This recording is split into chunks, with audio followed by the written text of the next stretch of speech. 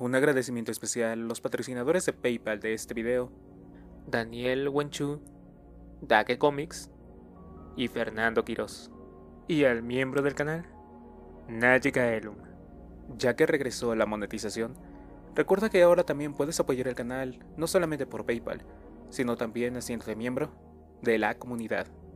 No olvides revisar los beneficios dependiendo del nivel del que elijas. Los precios van desde 20 pesitos. Y si no, por favor, te pido que, además de tu comentario y tu like, puedas ver uno o dos comerciales. O también, puedas dar clic a la publicidad que aparece por debajo de los videos. Eso me ayudaría muchísimo. Espero que disfrutes la siguiente narración.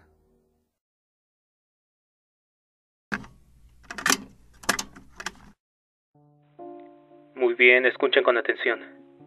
Le dan muchos nombres. La crisis, los años oscuros, la plaga que camina, y también nombres más nuevos y de moda como Guerra Mundial Z o Primera Guerra Z.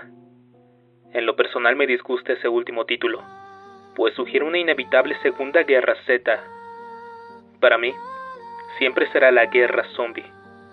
Y aunque algunas personas pueden discutir acerca de la exactitud científica de la palabra zombie, me gustaría invitarlos a encontrar otro término que tenga una aceptación tan universal para las criaturas que estuvieron a punto de provocar nuestra extinción. Zombie sigue siendo una palabra devastadora, con un poder sin igual que conjurar un sinfín de recuerdos y emociones. Y son precisamente esos recuerdos y emociones los que forman el tema principal de este, bueno, anecdotario. Este registro del más grande conflicto en la historia de la humanidad le debe su existencia a un conflicto mucho más pequeño y personal que tuve con la directora de la Comisión de las Naciones Unidas para el reporte posterior de la guerra. Mi trabajo inicial para la comisión no era para nada una tarea realizada por simple amor al arte. Mis gastos de viaje, mi autorización de seguridad, mi ejército de intérpretes, tanto humanos como electrónicos, y también mi pequeño pero invaluable aparato de transcripción activado por voz. El más grande regalo y el digitador más lento del mundo que pude haber deseado. Todas eran muestras del valor y el respeto que tenía mi trabajo en este proyecto. Es por eso que no necesito expresar la enorme sorpresa que me llevé cuando vi que casi la mitad de este trabajo había sido omitido del reporte final. Es demasiado personal, dijo la directora durante una de nuestras animadas discusiones. Demasiadas opiniones, demasiados sentimientos. Eso no es lo que nos interesa en este reporte, ella dijo. Necesitamos hechos claros y números, datos que no estén contaminados por el factor humano. Desde luego tenía razón. El reporte oficial debía ser una recolección de datos claros y concretos, un reporte objetivo, ya saben, pasado el incidente que permitiera a las generaciones futuras estudiar los eventos de la década del apocalipsis sin la influencia del factor humano. Pero ¿acaso no es el factor humano lo que nos conecta profundamente con nuestro pasado? ¿Acaso a las generaciones futuras les interesan más los números y las, bueno, estadísticas que los recuerdos personales de unos individuos parecidos en ellos? Al excluir el factor humano, no nos estamos deslingando emocionalmente de nuestra historia, y que Dios no lo permita quizá arriesgándonos a repetirla algún día. Y a fin de cuentas, ¿no es el factor humano lo único que nos diferencia del enemigo al que ahora nos referimos como los muertos vivientes? Le presenté estas razones, quizá de una manera menos profesional, claro está. Bueno, después de todo era mi jefa, quien después de mi exclamación final de no podemos dejar morir estas historias, respondió inmediatamente diciéndome, entonces no lo hagas escribe un libro o haz un anecdotario. Todavía tienes todas tus notas y la libertad legal de utilizarlas. ¿Quién te está impidiendo que mantengas estas historias vivas en las páginas de tu... Bueno, dijo obscenidad editada. Pero realmente pienso que si vamos a hacerlo personal, entonces creo que debería de venir de mi propia voz. Sin duda, algunos críticos ofenderán con el concepto de un libro o, bueno, esta recopilación de vivencias personales editadas tan poco tiempo después del fin de las hostilidades. Después de todo, Solo han pasado 12 años desde el día Ba. Ese día que fue declarado en el territorio continental de los Estados Unidos, y menos de una década desde que la última potencia mundial celebró su liberación con el Día de la Victoria China. Dado que muchos consideran que el día BC es el final oficial de la guerra, ¿cómo es posible tener una perspectiva real en palabras de uno de mis colegas de la ONU, cuando hemos estado en paz apenas el mismo tiempo que estuvimos en guerra? Es un argumento muy válido y necesita una respuesta. En el caso de esta generación, los que lucharon y sufrieron para darnos esta década de paz, el tiempo es tanto un enemigo como un aliado. Seguro los años venideros traerán una mayor introspección, agregando una mayor sabiduría a los recuerdos de un mundo maduro de la posguerra, pero muchos de esos recuerdos ya no existirán, atrapados en unos cuerpos y espíritus demasiado viejos o enfermos como para cosechar los frutos de su victoria. No es ningún secreto que la expectativa de vida global es una mera sombra de lo que era antes de la guerra, con toda la desnutrición, la polución, la reaparición de enfermedades que se consideraban erradicadas, incluso en los Estados Unidos. A pesar del actual resurgimiento económico y el sistema de seguridad universal en salud, simplemente no hay suficientes recursos para atender todas las secuelas físicas y psicológicas. Es por ese gran enemigo, el tiempo, que decidí prescindir de la posibilidad de una mayor introspección y bueno, publiqué los relatos de estos sobrevivientes. Tal vez en unas cuantas décadas, alguien emprenderá la tarea de recolectar las memorias de unos sobrevivientes más viejos y quizás más sabios. Quizás entonces yo sea también uno de ellos. Aunque este es principalmente, bueno, conjunto de relatos si lo quieren ver así. Incluye muchos de los detalles tecnológicos, sociales, económicos y demás incluidos en el reporte original enviado a la comisión ya que están estrechamente relacionadas con las historias y las voces registradas en estas páginas. Perdón, en este en este audio. Esto es de su parte, de ellos, no mío. Y traté de mantenerme como una presencia lo más invisible, por más posible que pudiera hacerlo. Las preguntas mías que aparecerán en el texto, o bueno, en sus oídos, están allí solo para ilustrar aquellas preguntas que los lectores o escuchas podrían haber realizado. He tratado de reservarme cualquier juicio de valor o comentario de cualquier tipo. Y si hay algún factor humano que deba ser removido de esto, que entonces sea el mío. Así que... Advertencias. Gran Chonggoing Federación Unida de China.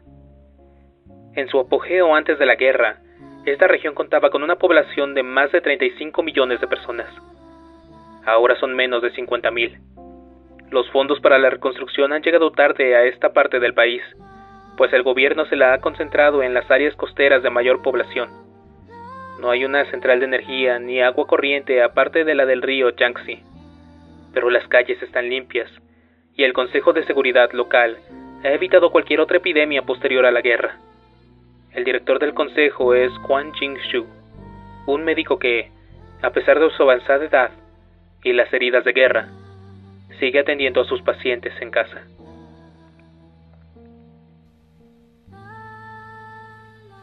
Primer relato de un hombre chino. La primera epidemia que vi fue en una remota aldea que oficialmente no tenía nombre. Los residentes la llamaban Nueva Dangchang, pero lo hacían más que por nostalgia que por otra razón. Su pueblo natal, el viejo Dangchang, había existido desde la era de los tres reinos, con granjas, casas e incluso árboles que tenían cientos de años. Cuando la represa de las tres gargantas fue terminada, antes de que las aguas comenzaran a subir, la mayor parte de Dangchang fue desmantelada ladrillo por ladrillo, y reconstruida en un terreno más alto. Sin embargo, aquel nuevo Dangshang ya no era un pueblo, sino un patrimonio arquitectónico nacional. Para esos pobres campesinos, debió ser una dolorosa ironía ver cómo su pueblo era salvado, para luego tener que ir a visitarlo solo como turistas. Quizá Por eso decidieron llamar a aquel pobre asentamiento Nueva Dangchang, para conservar alguna conexión con su tradición, aunque fuese solo a través del nombre. Yo ni siquiera sabía de la existencia de aquel otro, Nuevo Dangchang, así que podría imaginarse mi confusión cuando recibí esa llamada. El hospital estaba en silencio. Había sido una noche lenta, a pesar del incremento en los accidentes de tránsito por culpa del alcohol. Las motocicletas habían vuelto muy populares. Solíamos decir que sus Harley Davidson mataban a más jóvenes chinos que todos los soldados de la guerra de Corea. En realidad, me sentí muy agradecido por una noche tranquila. Estaba cansado. Me dolían los pies y la espalda. Me disponía a fumarme un cigarrillo y a mirar el amanecer cuando escuché mi nombre en el altavoz de llamadas. La recepcionista era nueva, y no pude entender muy bien lo que decía. Había un accidente o una enfermedad. Era una emergencia, eso era claro, y necesitaban ayuda de inmediato. ¿Qué podía decir? Los médicos más jóvenes, esos niños que pensaban que la medicina era solo una manera rápida de llenar la cuenta del banco, no iban a ir a ayudar a unos Nogmin, solo por buena voluntad. Supongo que en eso todavía soy un revolucionario a la antigüedad. Nuestro deber es hacernos responsables por el pueblo. Esas palabras todavía significaban algo para mí, y hasta la fecha lo siguen haciendo. Y traté de recordármelo mientras mi Bear saltaba y rebotaba sobre una carretera destapada que, aunque el gobierno había prometido pavimentar, nunca lo habían cumplido. Pasé unas horas horribles tratando de encontrar el lugar. Oficialmente no existía, y por lo tanto no estaba en ningún mapa. Me perdí en varias ocasiones, y tuve que pedirle direcciones a los lugareños.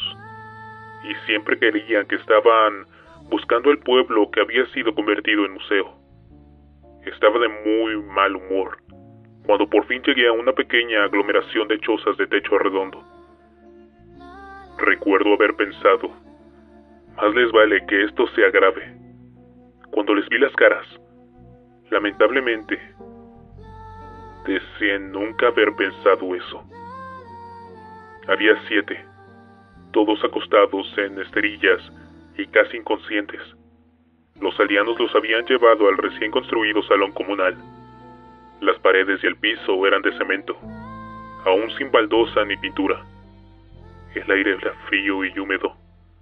Con razón están tan enfermos, pensé. Les pregunté a los aldeanos quién había estado cuidando a esta gente. Dijeron que nadie, que no era seguro Noté que la puerta había sido asegurada desde el exterior. Era obvio que la gente estaba atemorizada. Hacían muecas de espanto y susurraban entre ellos. Algunos mantenían su distancia y rezaban. Su comportamiento me hizo enojar. No por nada personal, si me entiende. No me enojé con ellos como individuos, sino por lo que representaban para nuestro país. Después de siglos de opresión extranjera, de explotación y de humillaciones, al fin estábamos logrando reclamar nuestro lugar como la principal potencia de la humanidad. Éramos el superpoder más rico y con la economía más dinámica del mundo. Maestros de todo. Desde el espacio exterior hasta el ciberespacio. Estábamos al principio de lo que el mundo había comenzado a llamar el siglo de la China. Y sin embargo, parte de nuestra gente seguía viviendo como campesinos ignorantes, tan retrógrados y supersticiosos como la primera tribu salvaje de Jiang Shao. Todavía me encontraba inmerso en mi gran crítica cultural cuando me arrodillé para revisar a la primer paciente.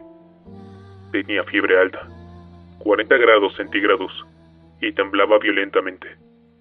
No podía hablar coherentemente y gemía cada vez que trataba de moverle las extremidades. Tenía una herida en el antebrazo derecho, una mordedura. Cuando la examiné más de cerca, Noté que no era de ningún animal. El radio de la mordida y las marcas de los dientes tenían que ser de un niño, o tal vez un adolescente. Aunque pensé que esa podía ser la causa de su infección, la herida en sí estaba sorpresivamente limpia. Le pregunté a los aldeanos de nuevo quién había estado atendiendo a estas personas. Una vez más, me dijeron que nadie. Sabía que eso no podía ser cierto. La boca humana está repleta de bacterias peor aún que la de un perro más sucio.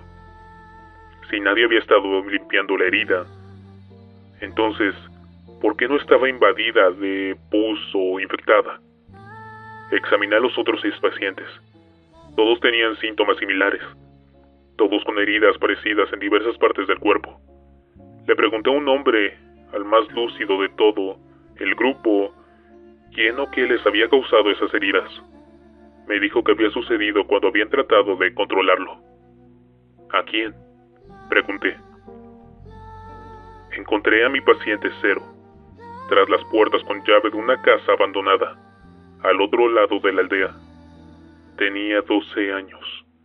Sus pies y manos estaban atados como correas plásticas para embalaje. Aunque se había arrancado la piel alrededor de las correas, no sangraba. Tampoco había sangre en ninguna de sus otras heridas, ni en las cortadas de sus piernas o brazos, ni en el enorme hoyo en donde alguna vez había estado el dedo gordo de su pie derecho. Se retorcía como un animal, y una mordaza ahogaba sus gemidos. Al principio los aldeanos trataron de retenerme. Me advirtieron que no lo tocara porque estaba maldito. Me los quité de encima y me puse mis mascarillas y guantes. La piel del niño estaba tan fría y gris como el piso de cemento en el que estaba tirado. No pude sentir ni su pulso, ni los latidos de su corazón. Sus ojos se veían feroces, abiertos de par en par, pero hundidos en sus cuencas. Permanecían fijos en mí como los de un animal de presa. A lo largo de todo el examen se mostró inexplicablemente hostil, tratando de agarrarme con sus manos atadas y de morderme a través de su mordaza. Sus movimientos eran tan violentos que tuve que llamar a los dos aldeanos más grandes para que me ayudaran a detenerlo. Al principio no respondieron, y se escondieron tras la puerta como conejos asustados. Les expliqué que no había riesgo de infección si usaban máscaras y guantes como yo. Cuando sacudieron sus cabezas les grité que era una orden, a pesar de que no tenía la autoridad legal para hacerlo. Eso fue todo lo que necesité. Aquel par de bueyes se arrodillaron a mi lado, uno sosteniendo los pies del niño mientras el otro le agarraba las manos. Traté de tomarle una muestra de sangre, pero solo obtuve un líquido café y viscoso. Mientras sacaba la aguja, el niño comenzó a retorcerse una vez más, ahora con más violencia. Uno de mis ayudantes, el encargado de sostenerle las manos, se dio por vencido al tratar de sostenerlo con sus propias manos y pensó que quizás sería más seguro apoyarse sobre ellas con las rodillas. El niño se sacudió otra vez, y escuché cómo se partía su brazo izquierdo. Los extremos rotos del cúbito y el radio se asomaron a través de su carne grisácea. Aunque el niño no gritó y ni siquiera pareció notarlo, eso fue suficiente para que mis dos asistentes se pararan de un salto y salieran corriendo del salón. Yo también retrocedí instintivamente algunos pasos. Me sentí un poco avergonzado por eso. He sido médico casi toda mi vida adulta. Fui entrenado y también podría decirse que fui criado por el Ejército de Liberación Popular. He tratado suficientes heridas de guerra y he visto la muerte de cerca en más de una ocasión. Pero estaba asustado, verdaderamente aterrorizado frente a aquel frágil niño. El niño comenzó a retroceder y arrastrarse hacia mí, con un brazo sacudiéndose en el aire. La piel y el músculo del brazo roto se desgarraron hasta que solo quedó un muñón. Su brazo derecho, ahora libre, seguía atado al antebrazo amputado y lo arrostraba lentamente por el piso. Salí corriendo, cerrando la puerta a mis espaldas. Traté de recobrar la compostura, de controlar mi temor y mi vergüenza también. Mi voz seguía temblando cuando le pregunté a los aldeanos cómo se había infectado el niño. Nadie me respondió. Escuché unos golpes contra la puerta cuando el puño del niño comenzó a golpear con fuerza la frágil madera. Hice todo lo que pude para no saltar de la sorpresa en aquel sonido. Recé para que ellos no notaran el color que había abandonado mi rostro. Les grité en parte por temor y en parte por la frustración que tenían que decirme lo que le había pasado a aquel chico. Una joven se acercó. Seguramente era su madre. Podía notarse que había estado llorando por muchos días. Sus ojos estaban tan hinchados y completamente rojos. Admitió que todo había sucedido cuando el niño y su padre habían estado haciendo pesca lunar, un término que se usaba para describir la búsqueda de tesoros entre las ruinas hundidas de la represa de las Tres Gargantas.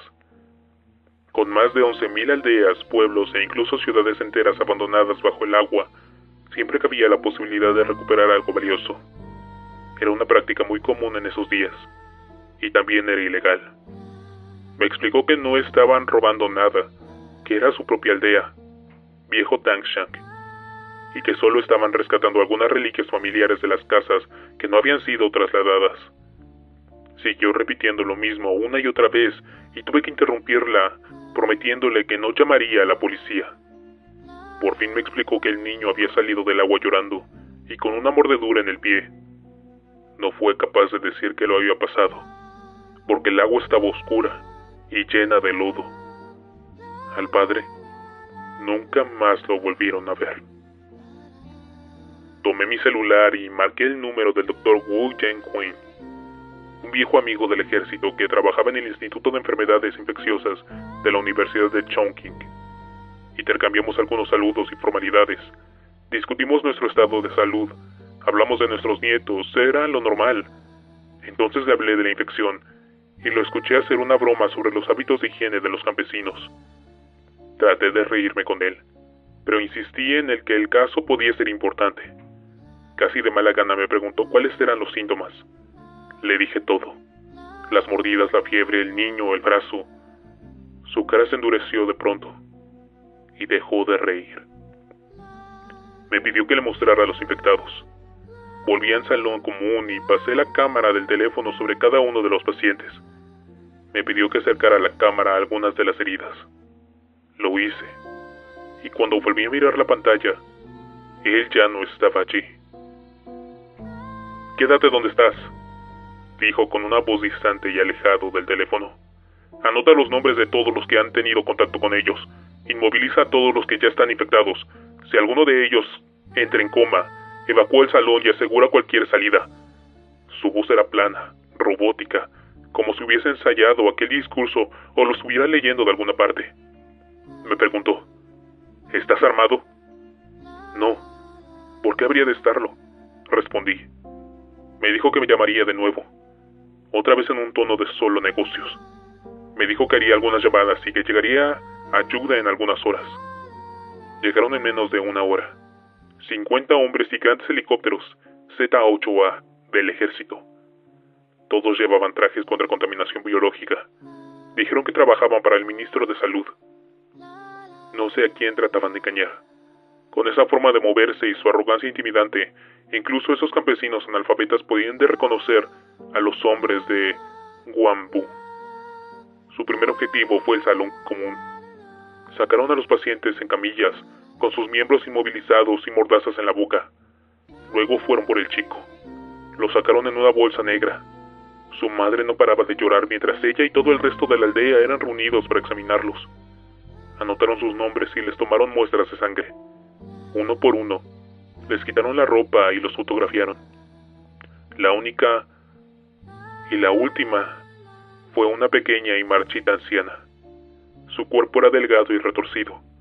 Su cara surcaba por miles de delgadas líneas y sus pies eran tan pequeños que seguramente habían sido amarrados y deformados cuando era niña.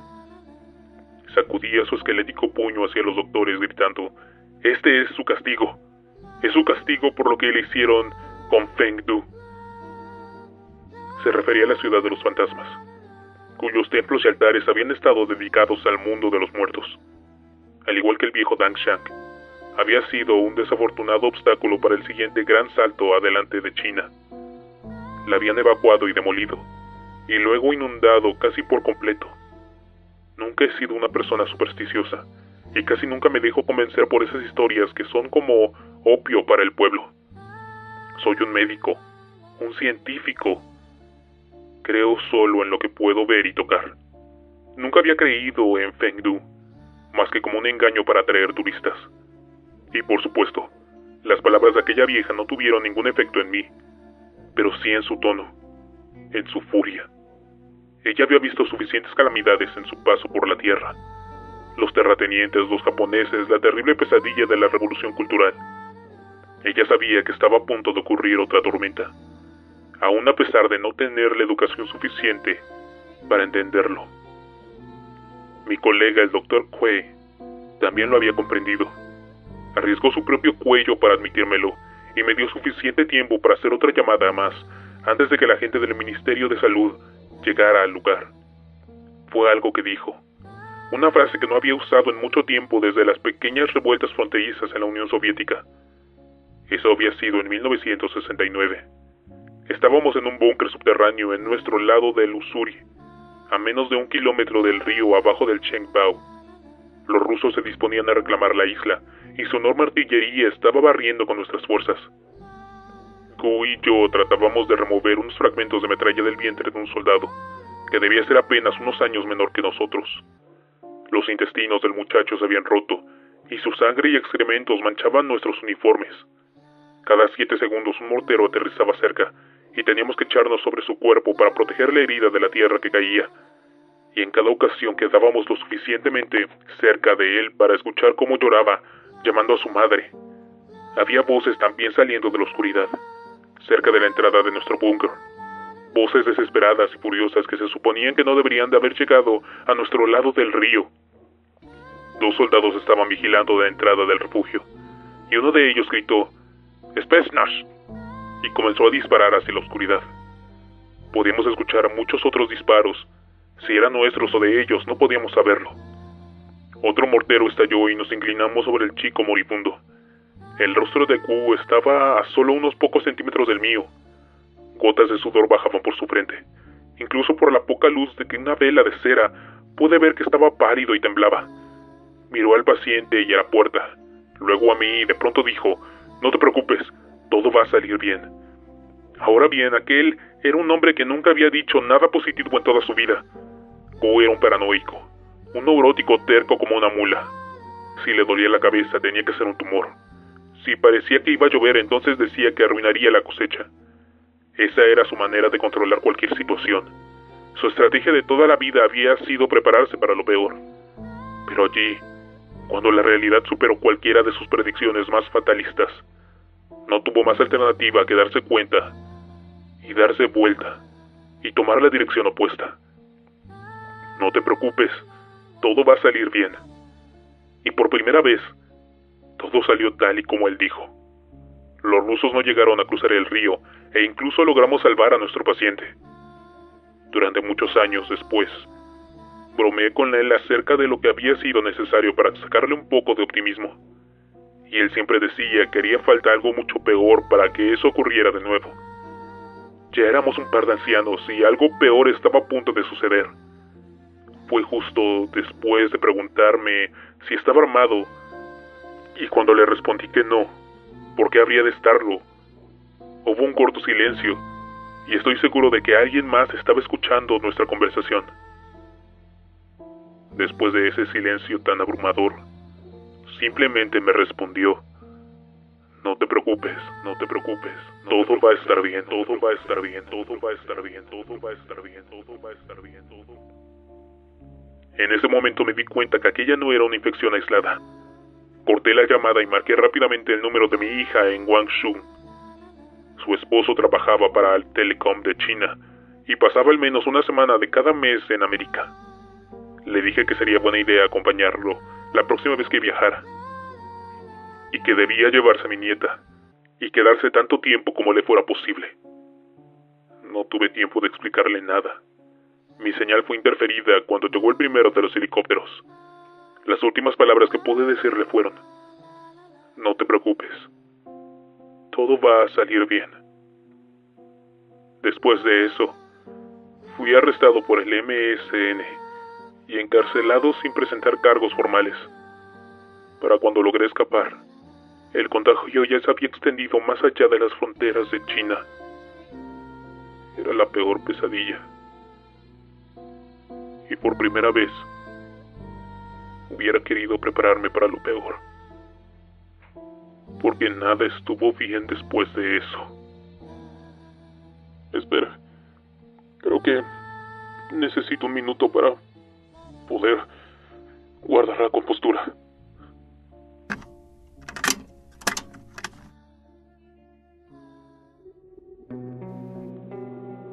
Segundo testimonio. Laza, República Popular del Tíbet. La ciudad más poblada del mundo todavía se está recuperando de las últimas elecciones populares. Los socialdemócratas derrotaron al partido de Lama en una victoria atronadora, y las calles hierven de rebeldes. Me encontré con Nuri Telebaldi en un concurrido café a un lado de una calle principal. Tenemos que gritar para hacernos oír sobre la multitud eufórica. Antes de la plaga, el contrabando por tierra no era popular. Conseguir los pasaportes, los tickets falsos para el bus de turismo, los contactos y la protección al otro lado, todo eso requería mucho dinero. En ese entonces, las únicas rutas lucrativas eran hacia Tailandia y Myanmar donde yo vivía, en Kashi, la única opción era hacia la antigua República Soviética. Nadie quería ir allá, y por eso al principio yo no era un Shetu. Yo era un importador. Pasta de opio, diamantes en bruto, niñas, niños, cualquier cosa de valor que produjeran esas primitivas excusas de países. La plaga lo cambió todo. De repente nos vimos inundados de ofertas, y no solo los Lindun Renko, sino también, como ustedes dicen, de gente de las clases más altas. Tuve profesionales de las ciudades, ganaderos e incluso oficiales de los escalones bajos del gobierno. Eran gente que tenía mucho que perder. No les importaba para dónde iban, solo que tenían que salir de allí. ¿Usted sabía que estaban huyendo? Habíamos escuchado los rumores. Incluso habíamos tenido una infección en algún lugar de Kashi pero el gobierno lo ocultó todo de inmediato. Sin embargo, nosotros lo sospechábamos. Sabía que algo no estaba bien. ¿Y el gobierno no trató de detenerlos? Oficialmente sí. Las penas por el contrabando se hicieron más severas. Se reforzaron los puntos de control en las fronteras. E incluso ejecutaron a algunos Shetu. Públicamente, claro.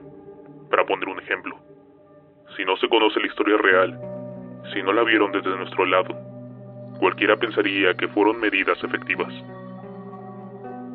¿Y fueron medidas efectivas? Solo digamos que hice rica a mucha gente. Guardias fronterizos, burócratas, policías, inclusive alcaldes. Todavía eran buenos tiempos para China, y la mejor manera de honrar la memoria del presidente Mao era ver su cara en la mayor cantidad posible de billetes de 100 yuan. Entonces tuvo mucho éxito. Kashi era la ciudad de moda. Creo que el 90% y quizá más de todo el tráfico terrestre pasó por allí, e incluso un poco del aéreo. ¿Aéreo? Solo un poco. Solo transporté Renshe en un par de ocasiones, en algunos vuelos de carga hacia Kazajstán o Rusia. Trabajos pequeños. No era como en Oriente. Ya sabes, Guadong y Yangshu estaban saliendo miles de personas cada semana. ¿Podría hablar un poco más de eso?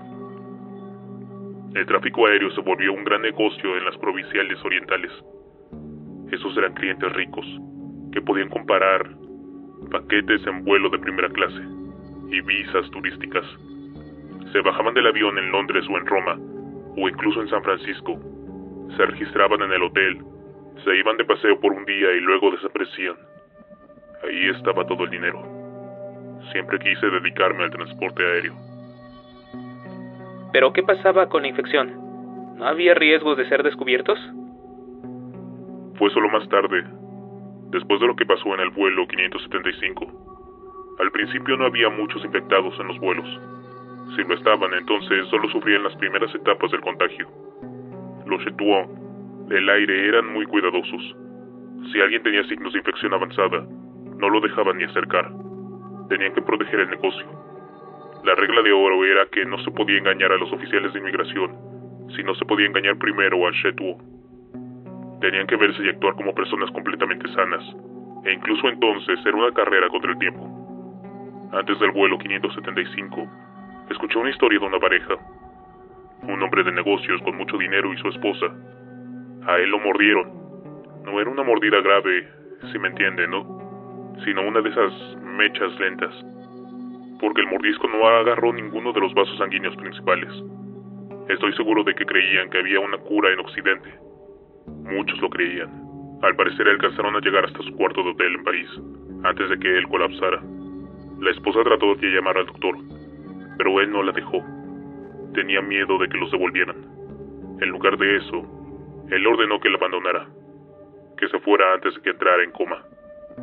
Dicen que lo hizo, y después de dos días de escuchar los gemidos y los golpes, la gente del hotel decidió ignorar el letrero de no molestar y abrieron el cuarto. No estoy seguro de si fue así que comenzó la infección en París, pero tendría sentido, ¿no? Usted me dice que no llamaron a un doctor porque tenían miedo de que los deportaran, pero ¿no se suponía que estaban buscando una cura en Occidente? Usted no entiende cómo funciona el corazón de un refugiado, ¿verdad? Esa gente estaba desesperada. Estaban atrapados entre enfrentar la infección y ser atrapados y curados por su propio gobierno. Si usted estuviera, o bueno, tuviera un ser querido, alguien de la familia, un hijo infectado y creyente que existe la mínima esperanza de cura en algún otro país, ¿no haría todo lo que estuviera en su poder para llegar hasta allá? ¿No preferiría creer en esa posibilidad? Entonces la esposa de ese hombre, junto a los otros Renche, simplemente desaparecieron? Siempre había sido así, incluso antes de la infección. Algunos se quedaban con sus familiares o con sus amigos. Los más pobres tenían que trabajar para pagar su BAU con la mafia china local. La mayoría simplemente se fundían en las zonas marginales de la sociedad en cada país. ¿Las áreas de bajos ingresos? Sí, así es como le gusta llamarlas. ¿Qué mejor lugar que esconderse que en esa parte de la población que nadie quiere ver? ¿Por qué cree que empezaron esas infecciones en los barrios pobres del primer mundo? Se dice que muchos Chetuon propagaron el mito de que había una cura en otros países. Algunos. ¿Y usted lo hizo? No. ¿Cómo afectó el vuelo 575 el contrabando por aire? Las restricciones se hicieron mayores, pero solo en algunos países. Los Chetuo del aire eran cuidadosos, pero también muy recursivos. Tenían un dicho, las causas de todos los hombres ricos tienen siempre una entrada para los sirvientes. ¿Qué quiere decir eso? Si Europa Occidental aumentaba la seguridad, entraban por Europa Oriental. Si los Estados Unidos no los dejaban pasar, entraban por México. Eso hacía que los países ricos se sintieran más seguros, a pesar de que ya estaban infectados dentro de sus fronteras. Yo no soy un experto en eso. Recuerde, yo me dedicaba al transporte terrestre, y mis objetivos eran los países de Asia Central. ¿Era más fácil encontrar, o bueno, entrar en ellos? Prácticamente nos pedían que entráramos. Esos países estaban en las ruinas, y sus oficiales eran tan ignorantes y corruptos que incluso nos ayudaban a conseguir todos los documentos a cambio de un par de tarifas. Hasta tenían sus propios etuo, o como sea que los llaman en su idioma de bárbaros, que trataban con nosotros para pasar a los Renche a través de las repúblicas soviéticas hasta países como la India, Rusia y también Irán, me parece. Nunca pregunté ni quise saber qué tan lejos llegaban ellos. Mi trabajo terminaba en la frontera. Yo solo les hacía llegar los papeles, marcar los vehículos, les pagaba a los guardias y me largaba con mi parte. ¿Y vio muchos infectados? No al principio. La plaga trabaja muy rápido. No era como en los viajes por avión. A la gente le tomaba semanas llegar a Kashi, e incluso los casos más lentos, según me han dicho, no duraban más que unos cuantos días. Los clientes infectados se reanimaban en alguna parte del recorrido antes de llegar y eran identificados y recogidos por la policía local. Después, cuando las infestaciones se multiplicaban y la policía ya no pudo contenerlos, comencé a ver un montón de gente infectada en mi ruta. ¿Eran peligrosos? Casi nunca. Usualmente los familiares los tenían amarrados y amordazados. Uno veía algo moviéndose en la parte de atrás de un automóvil, sacudiéndose bajo un montón de ropa o unas sábanas. Se escuchaban golpes en la maleta de los autos, o mucho después en cajones de madera con agujeros en la parte de atrás de una camioneta. Agujeros. En verdad no tenía idea de lo que les estaba pasando a sus seres queridos. ¿Usted lo sabía? Para entonces sí, pero también sabía que tratar de explicárselo a sus familiares era una pérdida de tiempo. Yo solo tomaba el dinero y los ponía en camino. Tuve suerte. Nunca tuve que enfrentar los problemas de los contrabandistas marítimos. ¿Eso era acaso más difícil? Y peligroso. Mis socios de las provincias costeras tenían que vivir con la posibilidad de que algún infectado rompiera sus cadenas y contaminara todo el cargamento. ¿Y qué hacían? He escuchado de varias soluciones. Algunas veces los barcos llegaban hasta alguna costa deshabitada. Ya no importaba si era el país de destino o no. Podía ser cualquier costa. Y descargaban, si sabe a lo que me refiero. A los Renshen infectados en la playa. También oí de algunos capitanes que navegaban hasta el alta mar y los arrojaban a todos por la borda. Eso podría explicar esos casos de nadadores y buzos desaparecidos en rastro. O porque había gente por todo el mundo diciendo que los veían salir de entre las olas. Al menos yo nunca tuve nada que ver en eso. Pero sí tuve un incidente parecido. Uno que me convenció de que ya era hora de retirarme. Encontré este camión, un viejo y destartalado tráiler. Se podían escuchar los gemidos que salían de la parte de atrás. Un montón de puños golpeaban contra el aluminio, tanto que se mecía de un lado para el otro. En la cabina iba un vaquero muy rico, de Xi'an. Había conseguido un montón de dinero haciendo préstamos para sacar tarjetas de crédito americanas, suficiente para llevarse a toda su familia fuera del país. El traje de Armani del tipo estaba arrugado y roto. Tenía arañazos por todo el lado de la cara y en los ojos tenía ese fuego de locura que estaba comenzando a ver más y más seguido en esos días. Los ojos del chofer eran distintos. Se veían como los míos, con la sospecha de que el dinero no iba a servir para nada dentro de muy poco tiempo. Le regaló un billete de 50 y le decía buena suerte. Eso fue todo lo que pude hacer por él. ¿Y hacia dónde iba ese camión? Kirguistán. Tercer testimonio. Metido era Grecia. Una serie de monasterios están construidos en las empinadas e inaccesibles paredes de roca, con algunos de los edificios soportados por altas y casi verticales columnas. Aunque originalmente era un refugio contra los turcos otomanos, más adelante probó ser un fuerte seguro contra los muertos vivientes. Escaleras construidas después de la guerra, casi todas de metal o madera y fáciles de retirar, indican la reciente afluencia de peregrinos y turistas. Meteora se ha convertido en un objetivo muy popular para ambos grupos en los últimos años. Algunos buscan sabiduría e iluminación espiritual, otros solo buscan una sensación de paz. Stanley McDonald pertenece a este grupo, al segundo, un veterano de casi todas las campañas a lo largo y ancho de su nativa Canadá. Su primer encuentro con los muertos vivientes fue en una guerra muy diferente, cuando el tercer batallón canadiense de infantería fue desplegado en una operación contra el tráfico de drogas en Kirguistán. Por favor, no nos confundas con esos equipos alfas americanos.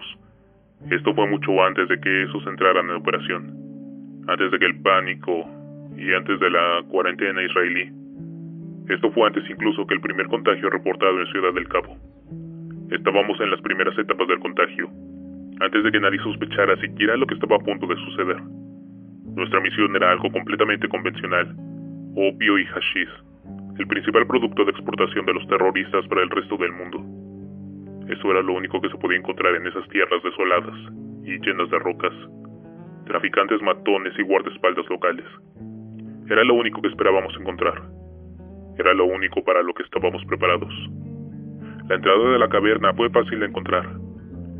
Solo seguimos el rastro de sangre que comenzó en la caravana. De inmediato supimos que algo estaba mal. No había cadáveres en los enfrentamientos de grupos rivales.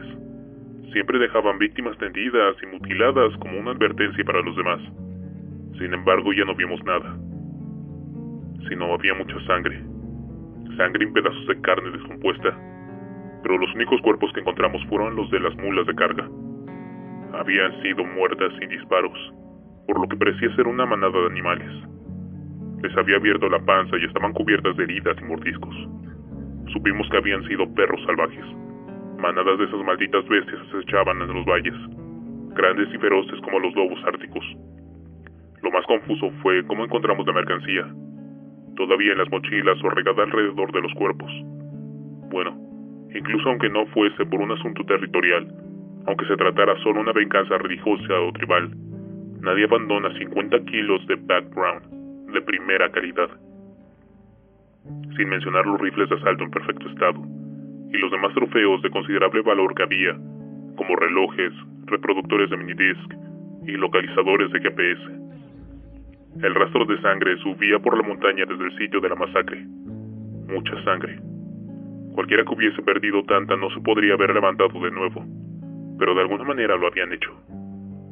No lo habían curado. No había más huellas. Por lo que pudimos ver, ese hombre había corrido, sangrado y había caído de frente. Todavía podíamos ver la huella de su rostro cubierta de sangre sobre la arena. De algún modo, sin ahogarse o desangrarse hasta morir, se había quedado allí tendido por algún tiempo y luego se había levantado y había vuelto a caminar. Las nuevas huellas eran diferentes de las anteriores. Parecía más lento. Estaban más juntas. El pie derecho se arrastraba y había perdido un zapato. Un viejo y gastado Nike de bota alta. Las huellas estaban salpicadas de algún fluido. No era sangre. No era humano.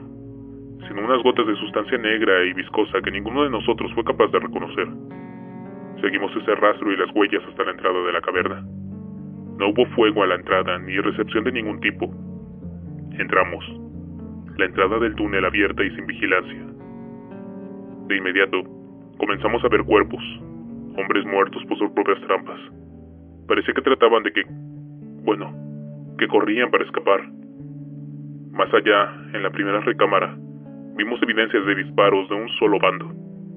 Digo de un solo bando porque Solo una de las paredes de la caverna estaba cubierta de impactos de armas de fuego. En la pared opuesta estaban los combatientes. Habían sido desplegados. Y al final terminaron despedazados. Sus extremidades, sus huesos habían sido arrancadas y mordisqueadas. Algunas todavía sostenían sus armas, como una mano que encontramos con una Makarov todavía entre sus dedos. A la mano le faltaba un dedo y lo encontrábamos al otro lado del salón, con el cuerpo de un tipo desarmado al que le habían disparado por lo menos cien veces. Algunos de los disparos le habían volado la tapa de los sesos.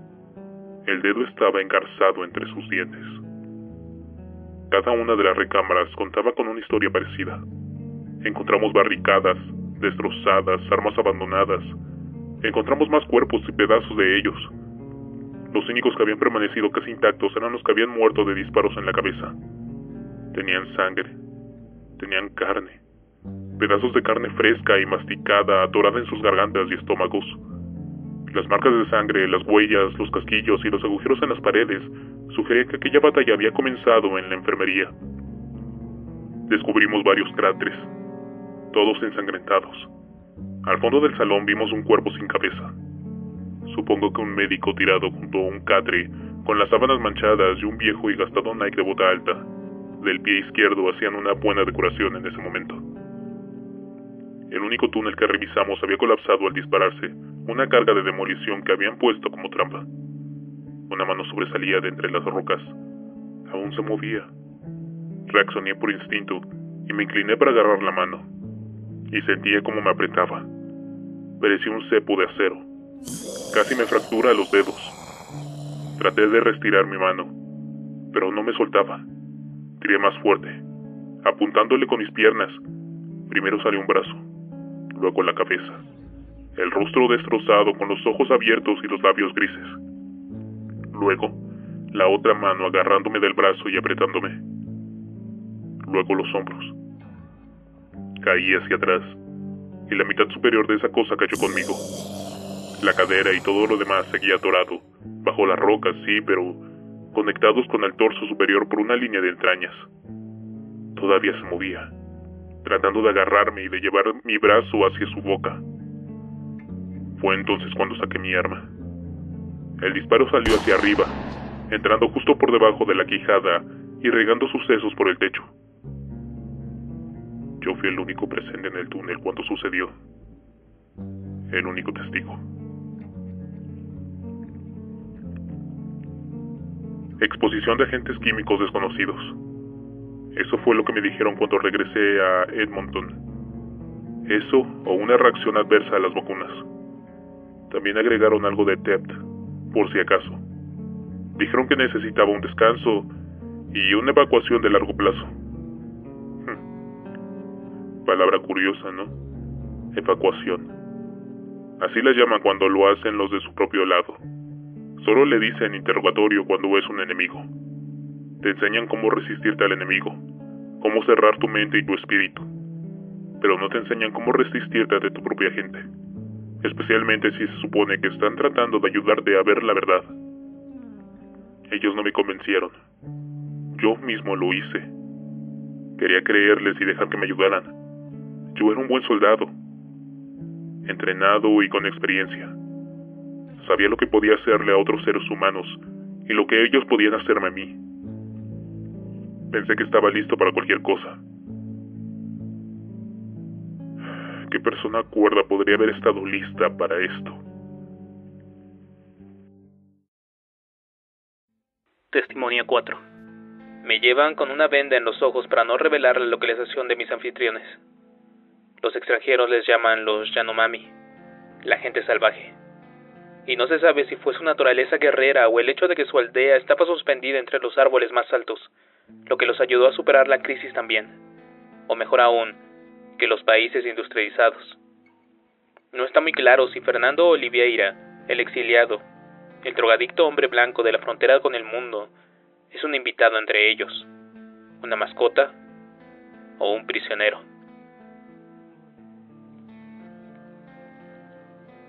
Yo todavía era un médico. Eso era lo que quería creer. Sí, era rico y conseguía más dinero todo el tiempo, pero al menos mi forma la había conseguido realizando procedimientos médicos necesarios. Mi fortuna. No vivía cortando y afilando narices de adolescentes o consiguiéndole pintos sudaneses a los vedettes transexuales. Yo era un médico de verdad y ayudaba a la gente. Y eso era tan inmoral ante los ojos hipócritas y egoístas de los países del norte. Porque sus ciudadanos seguían viendo, o bueno, viniendo a buscarme todo el tiempo. Esa era mi verdadera pregunta. El paquete llegó al aeropuerto una hora antes de que el paciente, bueno, lo hiciera, empacado en hielo dentro de una nueva portátil de campamento, de esas neveras pequeñas. Los corazones eran extremadamente escasos, no como los hígados o la piel, y mucho menos como los riñones que después de que aprobaron la ley de consentimiento implícito, podían conseguirse en cualquier hospital o morgue del país. ¿Lo había revisado? Para detectar que, al hacer las pruebas de laboratorio, hay que saber específicamente qué es lo que se está buscando. No sabíamos nada sobre la plaga que camina en ese entonces. Solo teníamos los virus normales, hepatitis o VIH, y ni siquiera tuvimos tiempo de hacer las pruebas para eso. ¿Por qué? Porque el vuelo venía retrasado. Los órganos no pueden tenerse en hielo para siempre. Ya estábamos apostando más de lo que debíamos con este tipo. ¿De dónde había salido? De China, con seguridad. Mi proveedor despachaba desde Macao. Confiábamos en él. Sus antecedentes eran sólidos. Cuando nos aseguró que el paquete estaba limpio, creí en su palabra. Tenía que hacerlo. Él sabía los riesgos que corríamos y yo también, lo mismo que el paciente. Herr Müller, aparte de sus problemas cardíacos, sufría de una extremadamente rara dextrocardia, con situs y versus. Sus órganos estaban en el lado opuesto a lo de una persona normal, el hígado en el lado izquierdo, las arterias cardíacas en el derecho, y así todo lo demás. Pude ver la situación tan particular que enfrentábamos. No podíamos transportarle un corazón normal y voltearlo para el otro lado. Las cosas funcionaban de esa manera. Necesitábamos un corazón fresco y saludable de un donante con el mismo problema. Aparte de China, ¿en dónde más íbamos a correr con tanta suerte? ¿Solo suerte? Ok. Y facilidad política. Le dije a mi proveedor que necesitaba y le di los detalles de ello. Y tan solo tres semanas después, recibí un email titulado simplemente como Tenemos uno. Entonces usted realizó la operación. Como auxiliar, el doctor Silva fue el que realizó el procedimiento. Era un prestigioso cirujano cardíaco que atendía los casos del hospital israelita Albert Einstein en Sao Paulo. Hijo de puta arrogante, aún para ser cardiólogo. Me dolió en el alma tener que trabajar con... Bueno, bajo las órdenes de ese imbécil. Me hablaba como si yo fuera un residente de primer año. Pero ¿qué más iba a hacer? Herr Müller necesitaba un corazón nuevo, y mi casa de playa necesitaba un jacuzzi. Herr Müller no alcanzó ni a recuperarse de la anestesia. Mientras descansaba en la sala de recuperación, solo unos cuantos minutos después de cerrarlo. Perdón, de cerrarlo. Comenzaron a aparecer los síntomas. La temperatura, el pulso, los niveles de oxígeno. Estaba muy preocupado y seguramente logré poner nervioso a mi colega más experimentado. Él me dijo que debía de ser una reacción a los medicamentos inmunosupresores, o simplemente una de las complicaciones que podían esperarse en un hombre de 67 años, con sobrepeso, con mala salud en general, y que acababa de pasar por uno de los procedimientos más traumáticos de la medicina moderna. Me sorprendió que no me dijera de un golpecito en la cabeza para terminar. Hijo de puta condescendiente. Me dijo que me fuera a casa, me duchara, durmiera un poco y que consiguiera a una o dos mujeres para relajarme. El que se quedaría a vigilarlo era él, y me llamaría si ocurriera algún cambio importante. ¿Y qué se supone que debería de haber pensado yo? Quizás si era por la droga el OKT3, o quizá me estaba preocupando más de la cuenta. Era mi primer trasplante de corazón. ¿Qué sabía yo, no? De todos modos, estaba tan preocupado que lo último que se me ocurrió fue dormir. Así que hice lo que cualquier médico haría si un paciente estaba sufriendo. Me fui para la ciudad de baile. Bebí, hice y me hicieron cosas que usted no se imaginaría. Al principio ni siquiera me di cuenta de que lo que estaba vibrando en mis pantalones era mi teléfono. Debió pasar una hora para que finalmente contestara. Graciela, mi recepcionista, estaba en pánico. Me dijo que Herr Müller había entrado en coma hacía más de una hora. Ya estaba subiéndome al auto antes de que ella pudiera terminar esa frase. Estaba a media hora de la clínica y nos maldije a Silva y a mí mismo durante todo el recorrido. Por supuesto que tenía motivos para preocuparme. Yo tenía razón. Era una cuestión de orgullo. Incluso si tener la razón me metía en problemas, disfruté haber comprometido así la reputación de Silva. Al llegar encontré a Graciela tratando de calmar a Rosa una de mis enfermeras, que estaba histérica. La pobre chica estaba inconsolable. Le di una buena cachetada y le pregunté qué estaba pasando. ¿Por qué su uniforme estaba manchado de sangre? ¿Dónde estaba el doctor Silva? ¿Por qué todos los pacientes estaban fuera de sus cuartos? ¿Y qué diablos era ese maldito ruido? Me dijo que Herr Müller había muerto de repente sin aviso. Me explicó que habían estado tratando de resucitarlo y que Herr Müller había abierto los ojos y había mordido al doctor Silva en la mano. Estuvieron forcejeando. Rosa trató de ayudarlo, pero estuvo a punto de ser mordida también. Abandonó a Silva, salió corriendo del cuarto y cerró la puerta con llave. Estuve a punto de reírme. Era ridículo. Quizás Superman había cometido un error y lo había diagnosticado mal, si eso era posible. Quizá el viejo se había levantado mareado y había tratado de agarrarle al doctor Silva por no caerse. Tenía que haber una explicación razonable. Pero esa sangre en su uniforme y el sonido en el cuarto de Herr Müller. Dios. Regresé a mi auto por mi arma. Más para calmar a Graciela y a Rosa que por mi propia seguridad. ¿Usted portaba un arma entonces? Vivía en Río ¿Qué cree que llevaba conmigo nada más mi pinto?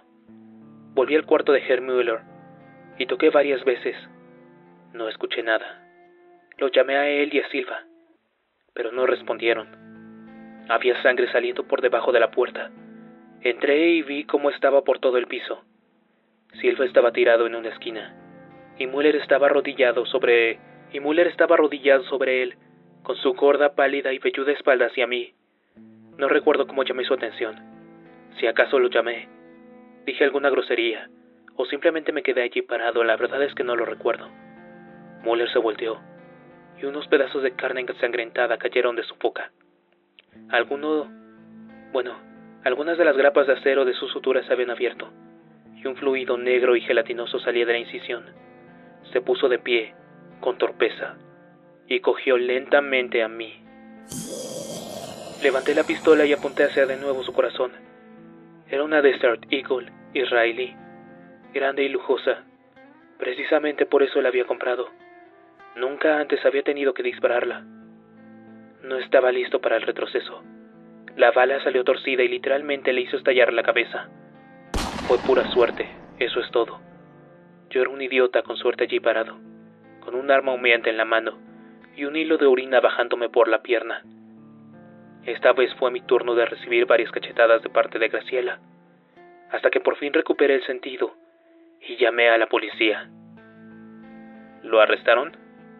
¿Está loco? Ellos también eran socios míos. ¿Cómo cree que conseguía los órganos en el mercado local? ¿Cómo cree que pude ocuparme de todo ese asunto? Son buenos en eso.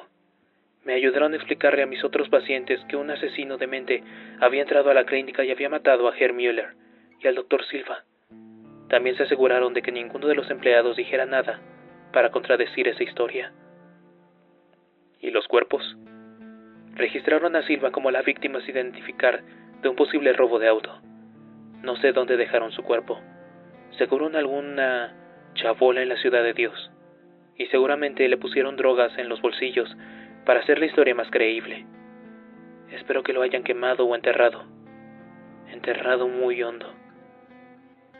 ¿Usted cree que él... Ah, no lo sé. Su cerebro estaba intacto cuando murió. Si no estaba en una bolsa para cadáveres bien sellada, o si la tierra estaba blanda, ¿cuánto tiempo podría haber tardado en salir?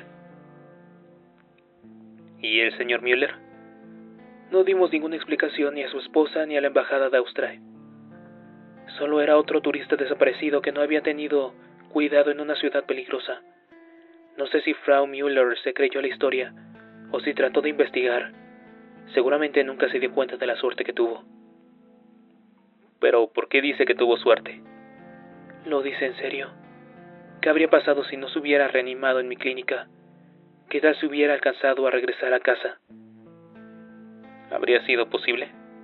Claro que sí. Piénsalo. Cómo la infección comenzó por la culpa del corazón.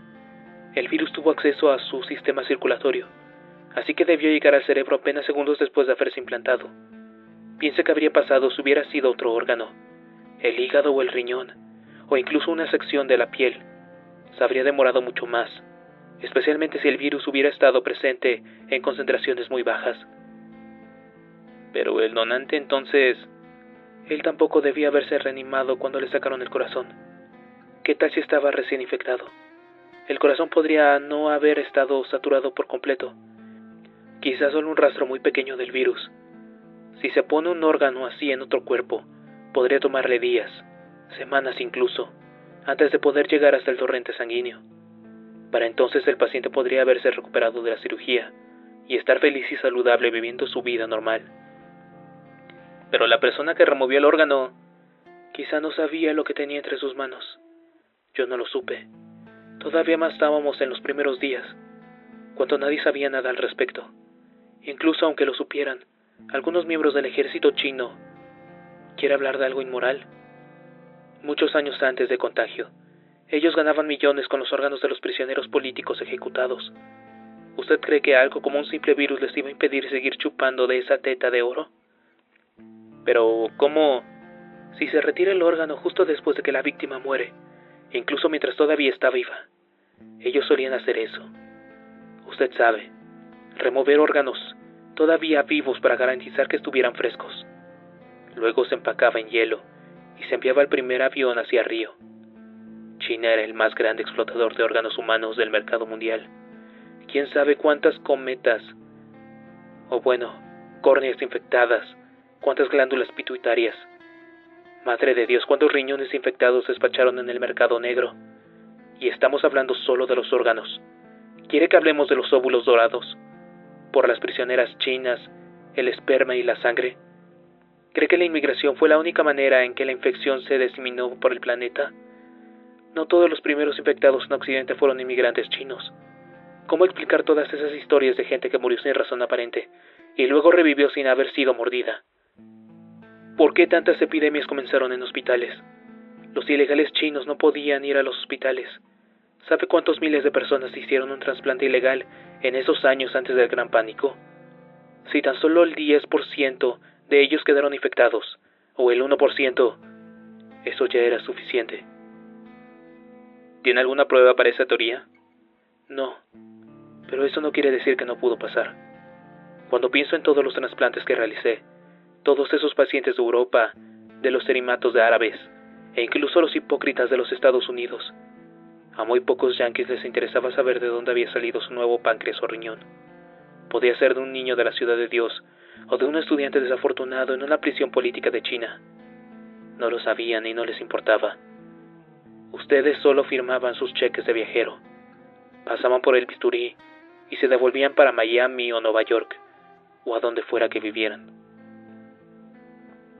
¿Alguna vez trató de contactar a algunos de esos pacientes, de advertirles o hacerles saber algo por el estilo? No.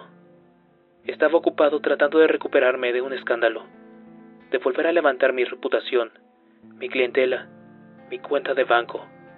Quería olvidar todo lo que había pasado, no investigar a profundidad. Para cuando me di cuenta del verdadero peligro, ya lo tenía golpeando la puerta de mi casa. Testimonio 5. Puerto de Bridgetown, Barbados, Federación de las Indias Orientales. Me dijeron que debía esperar un barco alto, aunque las velas del IS Infingo son en realidad cuatro turbinas verticales de viento que se levantan desde un esbelto casco de trimarán. Al ver que están conectadas a una batería de PEMS, células de energía basadas en una membrana de intercambio de protones que le permite convertir el agua del mar en electricidad. Es fácil entender por qué la I del prefijo LS se refiere a su energía ilimitada. Reconocida como el futuro indiscutible del transporte marítimo, todavía es raro ver un barco con esa tecnología que no lleve la bandera de algún gobierno. El Infingo es de propiedad privada, de Jacob Niati, su capitán. Yo nací al mismo tiempo que la Nueva Sudáfrica, desde el apartheid en esos días de euforia, el nuevo gobierno no solo nos prometió una democracia de un voto por cada hombre, sino empleo y vivienda para todo el país. Mi padre creyó que hablaban de algo inmediato. No entendía que esos eran objetivos a largo plazo, que se cumplirían solo después de años, generaciones incluso de trabajo duro. Él pensó que si abandonábamos la tierra de nuestra tribu y nos mudábamos a la ciudad, habría una casa nueva y un trabajo bien pagado, esperándonos al llegar. Mi padre era un hombre sencillo, un jornalero. No puedo culparlo por su falta de educación formal, por su sueño de una vida larga y plena con su familia. Así que nos establecimos en Calle Licha, uno de los cuatro poblados principales alrededor de la ciudad del Cabo. Tuvimos una vida de pobreza, humillación y miserias. Así fue mi niñez. La noche en que sucedió iba caminando a casa desde la estación del autobús. Eran casi las 5 de la mañana y acababa de salir de mi turno como mesero en el TGI Fridays. Esto en el barrio de Victoria. Había sido una buena noche. Las propinas fueron grandes y las noticias del campeonato de las tres naciones eran motivo suficiente para que cualquier sudafricano se sintiese como de tres metros de altura. Los Springboks habían barrido a los All Blacks. Otra vez. Quizá esos pensamientos me distrajeron al principio o quizá estaba un poco cansado, pero recuerdo que mi cuerpo reaccionó instintivamente incluso antes de escuchar los primeros disparos. Las balaceras no eran raras, no en mi barrio, y mucho menos en esos días. Una pistola por cada hombre era el dicho. Era el eslogan de mi vida en Calle Leche. Como un veterano de guerra, uno desarrolla habilidades de supervivencia que parecen casi instintivas. Las mías eran afiladas como una navaja. Me agaché. Traté de ver de dónde venía el sonido y al mismo tiempo busqué la superficie más dura para resguardarme. Casi todas las casas eran chozas improvisadas con pedazos de madera y latas dobladas, o simples láminas de plásticos amarradas a unos postes que apenas si se sostenían. El fuego arrasaba con esos tuburios, al menos una vez cada año. Las balas pasaban a través de ellos como si no hubiese más que aire. Salí corriendo y me ocultó tras una batería. Disculpa, es un poco difícil tratar de recordar esto sin algo de temor. Como iba diciendo, me ocultó tras una barbería que habían construido usando un contenedor de mercancía del tamaño de un auto grande. No era lo mejor, pero serviría por si algunos segundos eh, decisivos tuviera que resguardar mi vida. Así que me puse ahí lo suficiente para tranquilizarme y esperar a que terminara el tiroteo. Solo que no acabó. Pistolas, escopetas y ese golpeteo que nunca olvidaré. El ruido que te indica que alguien de ahí tiene una Kalashnikov. Estaba durando demasiado como para hacer una simple barrida de una pandilla. Luego siguieron las voces, gritos. Comencé a oler humo. Escuché el sonido de una multitud. Me asomé por una esquina y docenas de personas, casi todos en pijama, y todos gritando, ¡Corran! ¡Salgan de aquí! ¡Ahí vienen! A mi alrededor comenzaron a encenderse las luces y a asomarse rostros de todas las chozas. ¿Qué está pasando? preguntaban. ¿Quién viene? Esos eran los jóvenes. Los viejos simplemente comenzaron a correr. Tenían un instinto de supervivencia diferente. Un instinto que nació cuando ellos eran esclavos dentro de su propio país. En esos días, todo el mundo sabía a quiénes se referían cuando alguien decía, ahí viene. Y si ellos venían, lo único que se podía hacer era correr y rezar. ¿Usted salió corriendo? No pude. Mi familia, mi madre y mis dos hermanas vivían solo a unas puertas de la estación de radio Sibonele, justo de donde venía toda esa gente. No estaba pensando con claridad. Fui estúpido. Debí darme la vuelta y encontrar un callejón o una calle desierta. Traté de pasar a través de la multitud empujando a la dirección opuesta. Pensé que podría pasar si me quedaba pegado a las paredes de los tugurios. Me empujaron dentro de uno, contra una de sus paredes de plástico, la cual me envolvió mientras toda la estructura colapsaba sobre mí. Estaba atrapado. No podía respirar. Alguien me pasó por encima y me golpeó la cabeza contra el suelo. Logré librarme rondando y revolcándome hasta salir a la calle. Todavía estaba tendido cuando los vi. Diez o quince siluetas frente a los fuegos de las casas incendiadas. No pude ver sus caras, pero sí escuchaba sus gemidos. Se acercaban a mí cojeando con sus brazos levantados. Me puse en pie, mi cabeza dando vueltas, con dolor en todo mi cuerpo. Comencé a retroceder instintivamente hasta la puerta de la choza más cercana. Y digo puerta para que lo puedas entender porque realmente no tenía ni forma de puerta ni estaba diseñada como para detener algo que fuera del exterior. Algo me agarró por detrás tirando del cuello de mi camisa, rasgando la tela de hecho. Me di la vuelta, me agaché y batí tan fuerte como pude. Era grande, más grande y pesado que yo por muchos kilos.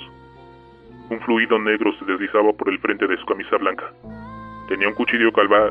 Ah, es tan asqueroso recordarlo. Tenía un cuchillo clavado en el pecho, justo entre las dos costillas y hundido hasta, la, hasta el mango. La tela de mi camisa, que estaba altorada entre sus dientes, cayó al piso cuando volvió a abrir la boca. Gimió y me atacó. Yo traté de esquivarlo. Me agarró por la muñeca. Sentí, co Sentí como crujía y el dolor recorrió todo mi cuerpo. Caí de rodillas, traté de rodar y quizás derribarlo. Mi otra mano comenzó a tropezar con una cacerola de metal muy pesada. La agarré y lo golpeé con fuerza, con tanta fuerza como mi cuerpo me lo permitió. Directo en la cara. Lo golpeé una y otra vez, hundiéndole la cabeza hasta que el hueso se partió y sus sesos se regaron en el suelo. Cayó a un lado de mí. Logré liberarme justo en el momento en que otro de ellos aparecía en la entrada. Esta vez la débil naturaleza de la construcción fue mi ventaja. Le di una patada a la pared para abrirme paso, saliendo de allí mientras toda la choza se venía abajo. Corrí sin saber hacia dónde iba, estaba en una pesadilla de chozas, fuegos y manos que pasaban a mi lado tratando de agarrarme. Pasé por entre una choza en la que una mujer estaba escondida. Sus dos hijos se aferraban a ella llorando y ella gritaba, vengan conmigo. Sin embargo, yo le grité lo mismo de vuelta. Por favor, vengan, tenemos que salir de aquí. Extendí mis manos acercándome a ella. Se puso delante de los niños amenazándome con un, con, un afilado cuchillo. No, espera. Era un desatornillador. Sí, ahora lo recuerdo bien. Sus ojos estaban muy abiertos, llenos de terror. Podía escuchar sus sonidos detrás de mí, tropezando contra las paredes de las chozas, derribándolas a medida que se acercaban. Dejé de hablar en, en, en, mi dialecto e intenté con el inglés. Please, le rogué. You have to run. Traté de agarrarla, pero me apuñaló la mano. La dejé allí. No sabía qué más podía hacer. Todavía la recuerdo. Algunas veces cuando duermo cierro los ojos, inclusive en este mismo momento, tengo su viva imagen tan vívida en mi mente con sus dos hijos. Algunas veces veo a mi madre en su lugar, y en vez de los niños que lloran veo a mis hermanas. Vi una luz frente a mí brillando a través de las grietas y los agujeros de las chozas. Corrí tan rápido como pude, tratando de llamar a alguien. Me faltaba el aliento. Pensé a través de que Pensé que a través de la pared de una choza podría estar seguro o podría resguardarme. Y de pronto encontré un espacio abierto. Las luces me cegaban, sentí algo que chocaba contra mi hombro. Creo que me desmayé antes de llegar al suelo. Después desperté en una cama del hospital Groot Shore. Nunca había estado en un pabellón de recuperación como ese. Estaba todo tan blanco y limpio, creí que estaba muerto. Estoy seguro de que los medicamentos ayudaron con esa sensación. Nunca antes había probado ningún tipo de droga, y ni siquiera había bebido alcohol. No quería terminar como tantas personas de mi barrio. Igual que mi padre. Toda mi vida había tratado de mantenerme limpio, pero... Pero... La morfina o lo que sea que me inyectaron se sentía deliciosa. No me importaba nada más. No me importó cuánto me dijeran que la policía me había disparado por error.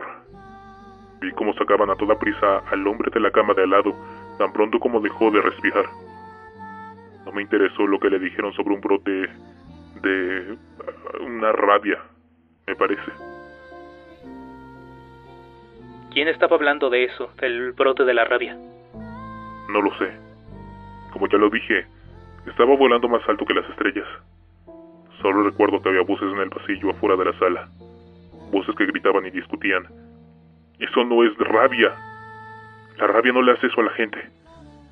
Luego alguien más. Bueno, entonces, ¿qué diablo sugieres? Tenemos 15 más en el piso de abajo. ¿Quién sabe cuántos más quedan allá afuera? Es gracioso. Repaso esa conversación todo el tiempo en mi cabeza. Lo que debería haber pasado. Lo que debería haber pensado también, sentido o hecho. Pasó mucho tiempo hasta que volví a estar sobrio hasta que desperté y tuve que enfrentar hasta que tuve que enfrentar esta nueva pesadilla. Sexto testimonio. Tel Aviv, Israel. Jürgen Wambrun es un apasionado de la comida etíope, y esa es la razón por la que nos reunimos en este restaurante de Falafash con su piel de un rosado brillante y unas cejas blancas y desordenadas que hacen juego con su cabello al estilo Einstein. Sería fácil confundirlo con un científico loco o con un profesor universitario. No es ninguno de los dos, claro. Aunque nunca ha reconocido para qué servicio de inteligencia israelí trabajaba, y posiblemente siga trabajando, en cierto momento de la conversación admite abiertamente que podría referirme a él como solamente un espía. La mayoría de la gente no admite que algo puede pasar sino hasta después de que ha pasado. Eso no es estupidez ni debilidad. Es solo una naturaleza humana. No culpo a nadie por no creer, y no me considero mejor ni más listo que ellos. Supongo que todo se reduce a un simple accidente eh, de nacimiento, vaya. Es parte de nuestra naturaleza, ¿sabes? Parte de nuestro estado mental y hemos aprendido a través de muchos errores y ensayos a estar siempre en guardia. El primer aviso que tuve de la peste fue a través de nuestros amigos y clientes en Taiwán. Llamaron a quejarse de nuestro nuevo software de decodificación de mensajes. Aparentemente había presentado fallas al descifrar unos emails de sus fuentes en la República Popular, o al menos los había descifrado tan mal que el mensaje resultaba incomprensible. Sospeché que el problema no debía estar en el software, sino en los mensajes como tal. Los rojos del continente, supongo que ya no los llamaban rojos. Pero ¿qué esperaba de un viejo como yo? Los rojos tenían la mala costumbre de usar muchos tipos de diferentes computadores, de distintos países y generaciones. Antes de sugerirse esa solución a Taipei, pensé que sería una buena idea revisar yo mismo los mensajes. Me sorprendió ver que los caracteres estaban claramente decodificados, pero el texto tenía que ver con algún tipo de virus que primero eliminaba a las víctimas y luego reanimaba el cadáver como algún tipo de animal furioso y homicida. Por supuesto no creí eso, al menos no literal, especialmente porque unas pocas semanas después estalló una crisis en el área de Taiwán y todos los mensajes sobre cadáveres reanimados dejaron de llegar. Sospeché que había una segunda capa de encriptación, un código dentro de otro código. Em, era un procedimiento normal que se remontaba incluso a los primeros días de la comunicación humana. Por supuesto que los rojos no podían estar hablando de cadáveres reales. Tenía que ser algún tipo de sistema nuevo de arma. O un plan de guerra ultra secreto. Dejé el asunto ahí y traté de olvidarme de él. Sin embargo, como uno de sus grandes héroes nacionales solía decir, mi sentido arácnido me alertaba. Poco tiempo después, durante la recepción de la boda de mi hija, me encontré hablando con uno de los profesores de mi yerno en la Universidad de Brea. El tipo era un hablador y había bebido más de la cuenta. Me dijo que un primo suyo había estado haciendo algún trabajo en Sudáfrica y le había contado algunas historias sobre golems. Usted conoce la historia del golem, ¿no? Esa vieja leyenda de un rabino que le dio vida a una estatua inanimada. Mary Shelley se robó esa idea para su libro Frankenstein. Al principio no le dije nada, solo escuché. El sujeto siguió hablando acerca de unos golems que no estaban hechos de arcilla, ni eran dóciles y obedientes. Tan pronto como mencionó que eran cadáveres reanimados, le pedí su número. Resultó que su primo había estado en la ciudad del Cabo en una de esas excursiones extremas. Creo que era buceo, alimentando tiburones, algo por el estilo. Bueno, al parecer un tiburón le había arrancado un bocado justo del trasero, y por eso se encontraba internado en el hospital Groot Shore cuando llegaron las primeras víctimas, del poblado de Kaleshitsa. Él no vio ninguno de esos casos en persona, pero los empleados le contaban suficientes historias como para llenar un viejo dictáfono. Luego presenté su relato, junto con los emails chinos descifrados en mis superiores. Fue en ese momento en que vi beneficiado por las particularidades circunstancias de nuestra precaria seguridad. Antes, en octubre de 1973, cuando los ataques coordinados de los árabes nos hicieron retroceder casi hasta el Mediterráneo, habíamos tenido todos los informes de inteligencia a nuestra disposición. Todas las señales de alerta y simplemente habíamos dejado caer la bola. Nunca creímos en la posibilidad de un ataque total coordinado y convencional por parte de varias naciones, y mucho menos durante nuestras mentalidades de manada. Imagínese un grupo de gente mirando un mensaje escrito en una pared y todos felicitándose por haber logrado leer el mensaje correctamente.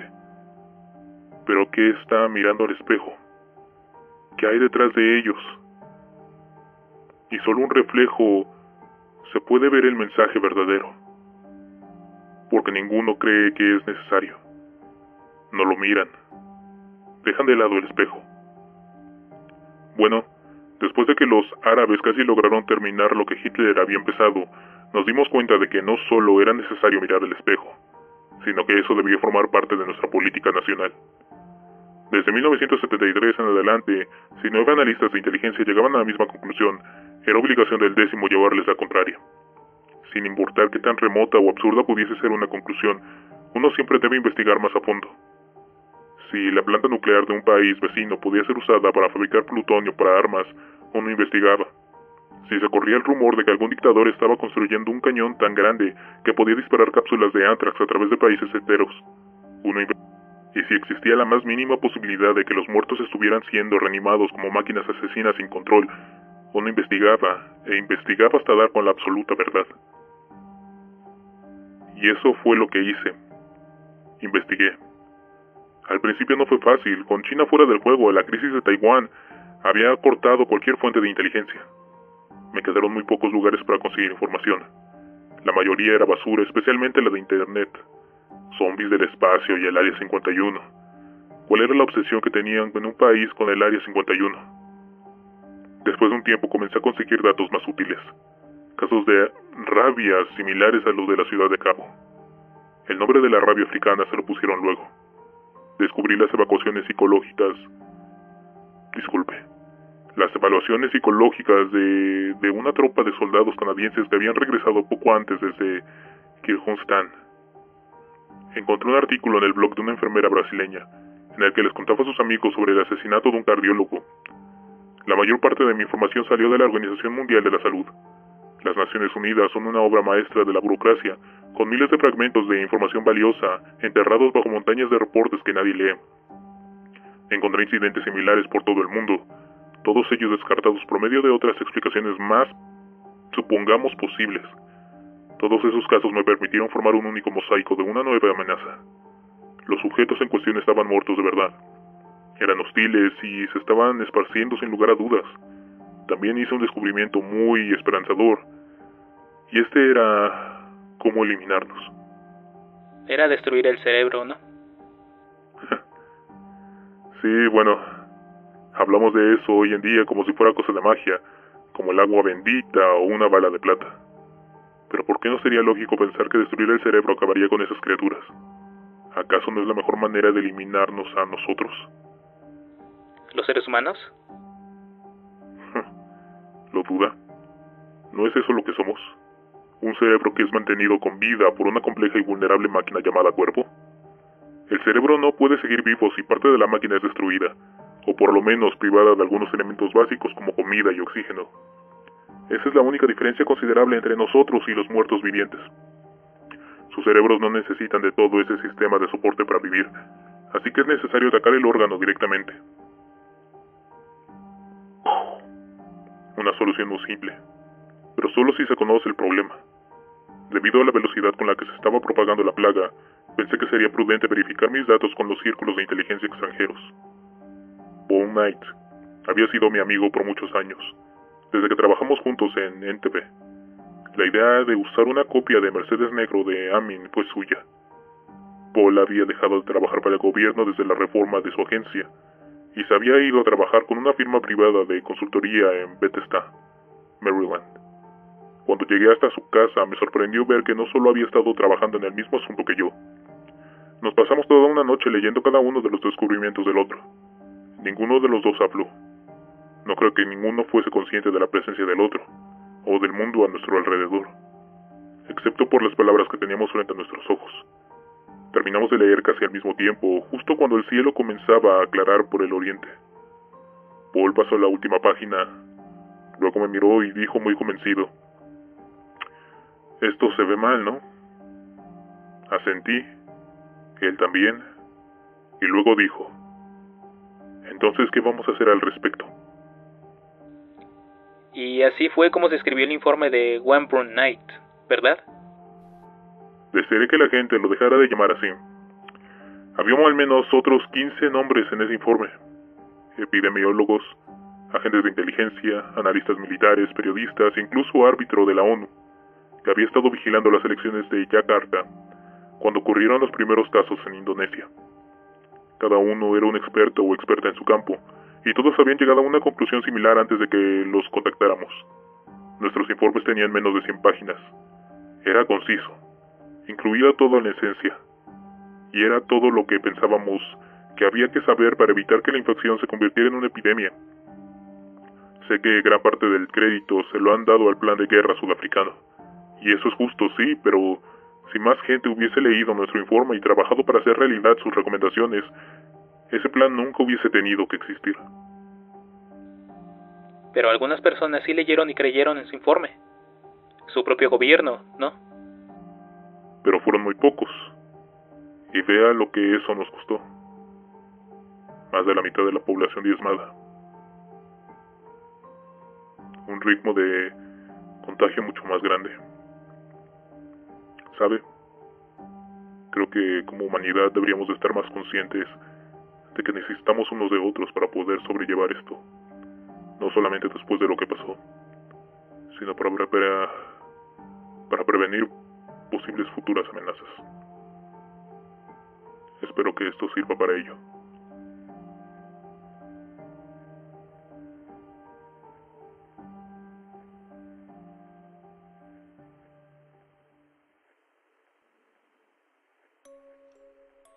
Belén Palestina. Con su aspecto duro y sus modales pulidos, Saladin Kader podría ser una estrella de cine. Es amigable, pero nunca exagerado. Seguro de sí mismo, pero no arrogante. Trabaja como profesor de planeación urbana en la Universidad de Cali, el Gibran, y, naturalmente, es el amor platónico de todas sus estudiantes.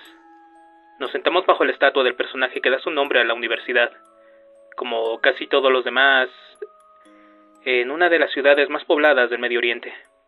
El bronce pulido de la figura brilla bajo el sol. Nací y me crié en la ciudad de Kuwait.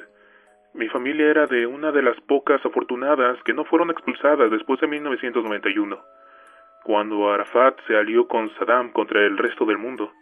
No éramos ricos, pero tampoco nos iba mal. Vivía confortablemente, quizá demasiado.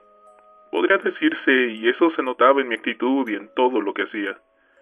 Estaba viendo las noticias del canal Al Jazeera desde el mostrador del Starbucks en el que trabajaba todos los días al salir de la escuela. Era la hora pico de la tarde y el lugar estaba lleno. Debería haber escuchado esa multitud. Todos los gritos y los protestantes. Ah, estoy seguro de que el ruido allí era el mismo que se escuchaba en ese momento en el salón de la Asamblea General. Por supuesto, muchos pensábamos que era otra mentira de los sionistas. ¿Y quién no? Cuando el embajador israelí anunció ante la Asamblea General de la ONU que su país asumiría una política de, y digo entre comillas, cuarentena voluntaria, ¿qué se supone que íbamos a pensar? Se suponía que no debíamos creer en esa absurda historia de la que la rabia africana era en realidad algún nuevo tipo de virus que convertía a los muertos en caníbales y sedientos de sangre? Por favor. ¿Cómo puede creer en semejante estupidez, especialmente si sale de la boca de tu más odiado enemigo? Ni siquiera le presté atención a la segunda parte del discurso de ese gordo bastardo la parte en la que le ofrecía asilo sin condiciones a cualquier judío nacido de extranjeros, cualquier extranjero cuyos padres hubieran sido nacidos en Israel, cualquier palestino de los territorios previamente ocupados o cualquier palestino cuya familia hubiese vivido dentro del territorio israelí. Esa última parte cobijaba a mi familia, refugiados de los atacantes sionistas de la guerra del 67, me parece. Habían huido de su aldea creyendo que regresarían cuando nuestros hermanos egipcios y sirios expulsaran a los judíos hacia el mar. Yo nunca había estado en Israel, o lo que pronto sería absorbido dentro de Estados Unidos palestinos. ¿Qué creyó que había detrás de la decisión de Israel? Esto fue lo que pensé.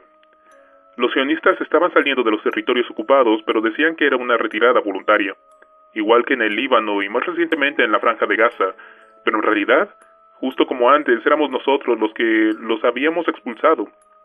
Ellos sabían que el siguiente golpe destruiría esa atrocidad ilegal que llamaban país, y para resistir ese golpe final estaban tratando de reclutar a los extranjeros judíos como carne de cañón. Y bueno, me creí tan listo por pensar en esto. ¿Llevarse también a todos los palestinos que pudieran para usarlos como escudos humanos? Yo creía saber todas las respuestas. ¿Quién no cree eso a los 17 años? Mi padre no estaba tan convencido de mi ingenio para la política. Él era un empleado de limpieza del hospital Amiri. Estuvo de turno de la noche del primer contagio de la rabia africana. Él no vio los cadáveres levantándose de sus camillas, ni la masacre de los pacientes y los guardias de seguridad, pero lo que vio después fue suficiente para convencerlo de que quedarse en Kuwait era un suicidio. Se decidió a salir el mismo día que en Israel. Bueno, hizo su declaración. Eso debió de ser difícil de escuchar. Era una blasfemia. Traté de hacerlo entrar en razón, de convencerlo con mi lógica de adolescente, ¿sabes? Le mostré las imágenes de Al Jazeera, las imágenes de la costa occidental del nuevo Estado de Palestina, las celebraciones, las demostraciones. Cualquiera que tuviese ojos podía ver que la liberación estaba al alcance de nuestras manos. Los israelíes se habían retirado de los territorios ocupados y ya se estaban preparando para evacuar Al Qaeda, lo que antes llamaban Jerusalén. Todas las luchas de bandos, la violencia entre nuestros grupos de resistencia, sabía que todo terminaría cuando nos uniéramos por nuestro golpe final contra los judíos. ¿Acaso mi padre que no lo podía ver? No podía entender en unos pocos meses o años tal vez estaríamos regresando a nuestra tierra. Esta vez como libertadores, no como refugiados. ¿Y cómo se resolvió esa discusión? ¿Resolvió? Qué eufemismo tan condescendiente. Se resolvió. Después del segundo contagio, el más grande, en Al-Hara, mi padre ya había renunciado a su trabajo y vaciado su cuenta del banco. Todo nuestro equipaje está empacado. Los tickets fueron firmados y confirmados. La televisión sonaba en el fondo, algo sobre las fuerzas a timotines de la policía cercando una casa. No se podía ver a qué le estaban disparando, pero el informe oficial ocupaba o culpaba de la violencia a unos extremistas pro-occidentales. Mi padre y yo estábamos discutiendo, como siempre creo. Estaba tratando de convencerme de que lo que había visto en el hospital era real, de que para nuestros líderes se dieran cuenta del peligro eh, sería demasiado tarde para todos nosotros. Bueno, cuando realmente lo hicieran público, ¿entiendes? Yo por supuesto le reproché su ignorancia y su deseo de abandonar la lucha. ¿Qué más podía esperar de un hombre que se había pasado toda su vida limpiando de retretes de un país que trataba a nuestra gente tan mal como los inmigrantes filipinos? Él no veía las cosas en perspectiva. Había perdido su orgullo. Los sionistas le ofrecían promesas vacías de una mejor vida, y él estaba lanzándose tras ellas como un perro que va tras las obras. Aunque fuera mi padre, creo que lo describiría así. Él trató con toda la paciencia que pudo reunir de hacerme ver que él no sentía más amor por Israel que cualquiera de los mártires del Al-Qadsa, pero que parecía ser el único país que se estaba preparando para la catástrofe que se avecinaba, y el único que estaba dispuesto a recibir a nuestra familia. Me reí en su cara. Luego solté la bomba. Dije que había entrado al sitio web de los hijos de Yassin y que ya estaba esperando el email de la gente de reclutamiento que operaba en la ciudad de Kuwait. Le dije a mi padre que podía largarse y trabajar como una puta en Jet Shoot, si eso era lo que él quería, pero que la próxima vez que nos viéramos sería cuando yo lo rescatase de un campo de prisioneros. Me sentí muy orgulloso de mis palabras y pensé que me había escuchado como un héroe. Lo miré a los ojos, me levanté de la mesa e hice mi última declaración. Los seres peores para Alá son los que, habiendo sido infieles en el pasado, se obstinan en su incredulidad. La mesa del comedor quedó en silencio. Mi madre clavó sus ojos en el piso y mis hermanas se miraron entre sí. Lo único que se escuchaba era la televisión. Las palabras desesperadas del reportero en vivo, diciéndole a todo el mundo que se conservara la calma. Mi padre no era un hombre grande. Para entonces creo que yo ya era más grande que él. Nunca antes lo había visto enojado y creo que nunca lo vi levantar la voz, pero vi algo en sus ojos, algo que no pude reconocer. Y de pronto lo tuve sobre mí, un torbellino de rayos que me arrojó contra la pared y me golpeó tan fuerte que mi oído izquierdo quedó silbando. Vas a ir. Gritó mientras me agarraba por los hombros y me golpeaba una y otra vez contra la pared del aglomerado. Soy tu padre. Me obedecerás. Su siguiente golpe nubló toda mi visión. Te irás con toda tu familia o no saldrás vivo de este cuarto. Más gritos, agarres, golpes y empujones. No entendía de dónde había salido ese hombre, ese león que había reemplazado mi dócil y frágil excusa de padre, un león que protegía a sus cachorros. Él sabía que el miedo era la única arma que le quedaba para salvar mi vida. Y si yo no le temía a la plaga, maldita sea, le iba a temer a él. ¿Y funcionó? Valiente mártir que resulté. Creo que estuve llorando todo el camino hasta el Cairo. ¿Cairo?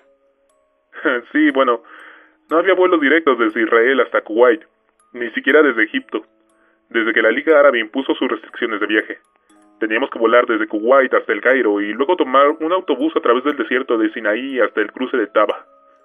Cuando nos acercamos a la frontera vi la pared por primera vez. Todavía no estaba terminada siquiera.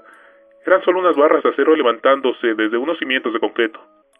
Yo había oído sobre el infame cerco de seguridad, ¿Qué ciudadano del mundo árabe no lo había oído? Pero siempre había pensado que solo rodeaba la costa occidental y la franja de Gaza. Allí fuera, en medio de aquel desierto, eso solo confirmaba mi teoría de que los israelíes estaban preparándose para un ataque a lo largo de toda su frontera. Muy bien, pensé. Los egipcios por fin volvieron a descubrir dónde están sus pelotas. En nos bajaron del autobús y nos ordenaron que camináramos en fila junto a unas jaulas que encerraban unos perros muy grandes y de aspecto feroz. Pasamos uno por uno, un guardia fronterizo, un africano negro y flaco. Yo no sabía que había negros judíos. Nos hacían señas con la mano. Esperen ahí, dijo un árabe casi irreconocible. Luego usted, venga. El hombre frente a mí en la fila era viejo. Tenía una larga barba blanca y se apoyaba en un bastón.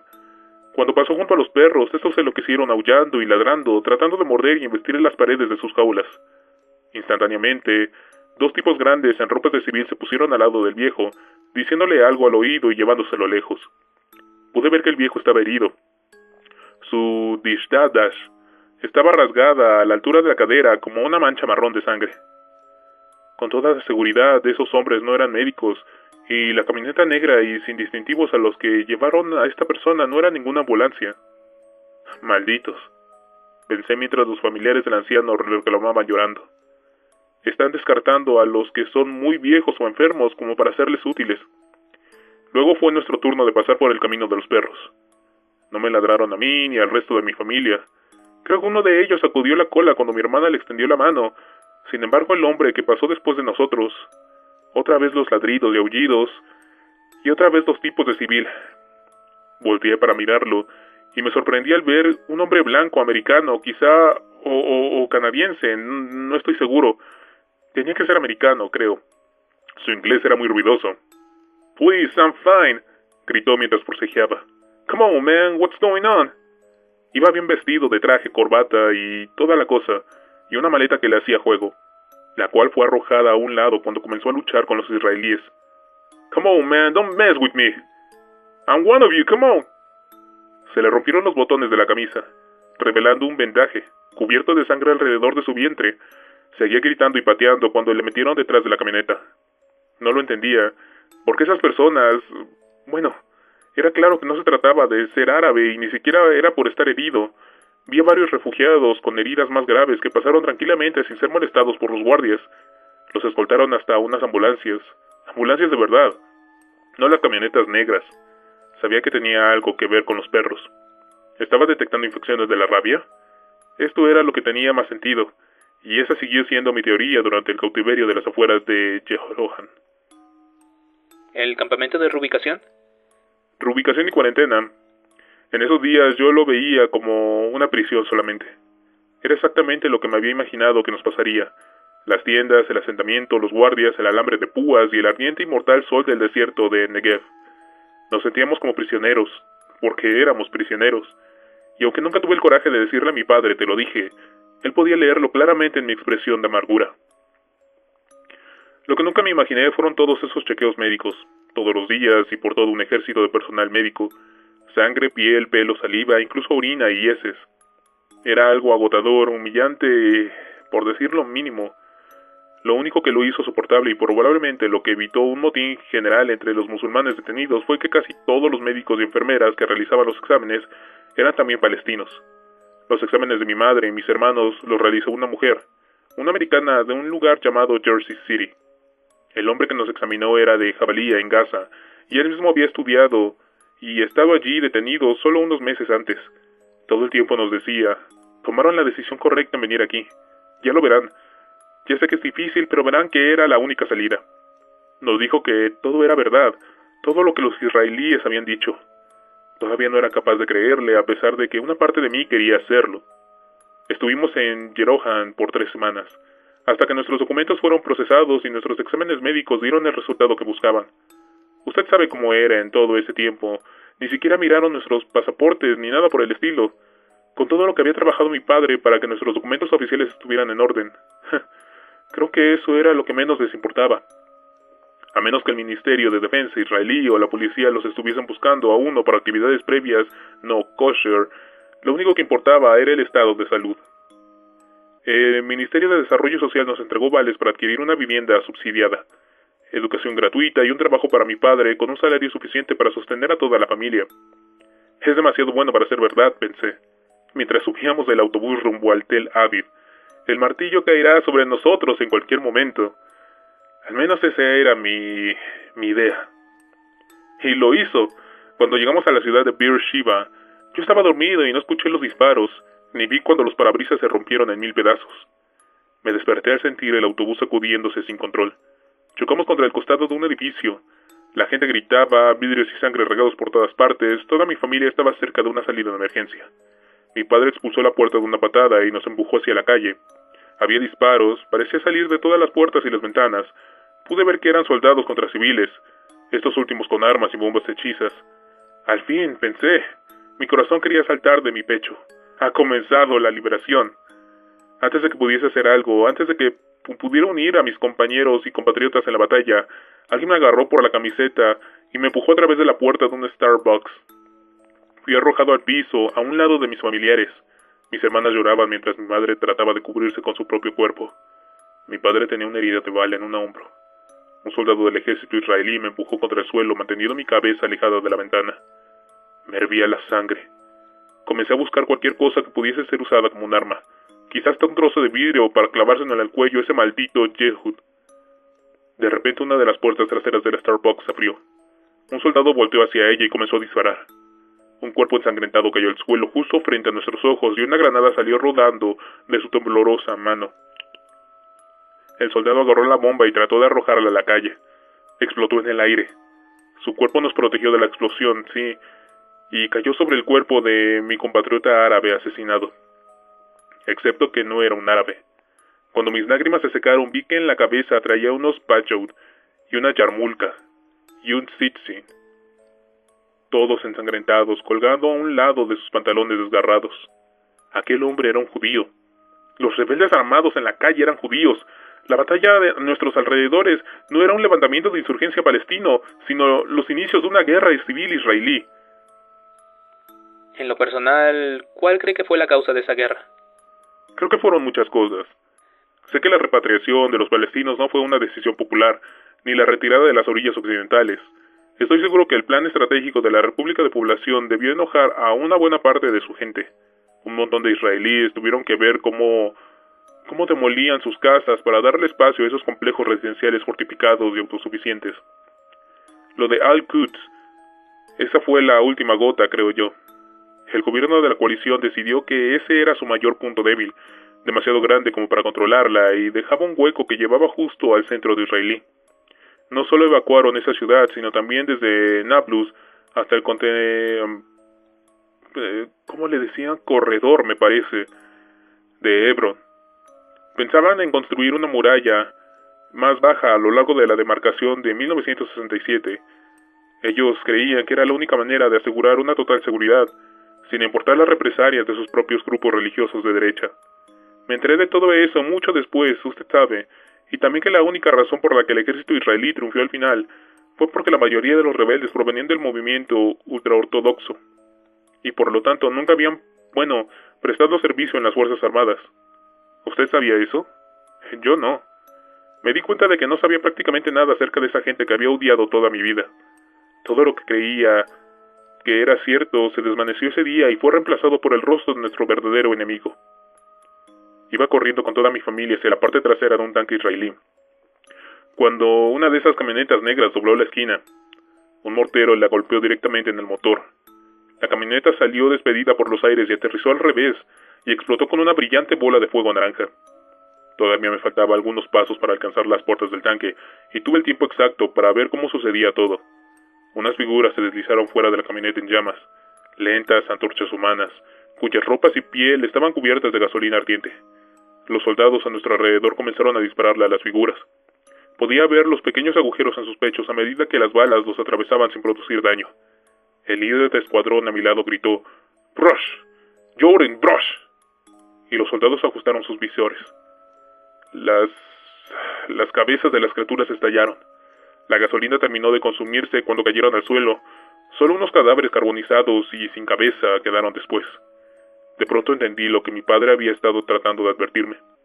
Lo que los israelíes estaban estado tratando de advertirle al resto del mundo.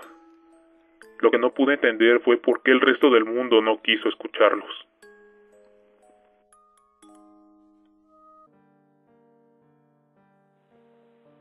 Culpa. Langley, Virginia, Estados Unidos. La oficina del director de la Agencia Central de Inteligencia podría confundirse con la de un gerente de negocios, un médico o cualquier director de una escuela de pueblo. Está la habitual colección de textos de referencia en los anaqueles, diplomas y fotografías en la pared, y en su escritorio, una bola de béisbol autografiada por Johnny Branch, el receptor de los rojos de Cincinnati. Bob Archer, mi anfitrión, puede ver claramente en mi rostro que me esperaba algo muy distinto. Sospecho que por esa razón decidió concederme esta entrevista precisamente en ese lugar. Cuando usted piensa en la CIA, seguramente se imagina dos de nuestros mitos más populares y duraderos. El primero es que nuestra misión es registrar todo el planeta en busca de cualquier potencial amenaza contra los Estados Unidos. Y el segundo mito es que en verdad tenemos el poder para hacerlo primero. Todo eso es consecuencia de de tener una organización que, dada su naturaleza, debe existir y operar en secreto. El secreto es como un vacío, y nada llena ese vacío tan bien como la especulación paranoica. Oye, ¿sabes quién mató a fulano de tal? Escuché que fue la CIA. Hey, ¿escuchaste ese golpe de la República de Banano? Debió ser la CIA. Hey, ten cuidado al entrar en esa página web. ¿Sabes quién lleva un registro de todas las páginas de Internet que uno visita a toda hora? La CIA. Esa era la imagen que casi todos tenían de nosotros antes de la guerra, y era una imagen que estábamos por más que complacidos de cultivar.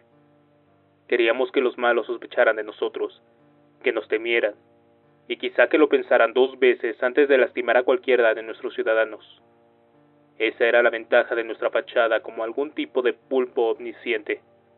La única desventaja era que nuestra propia gente creía también en esa imagen.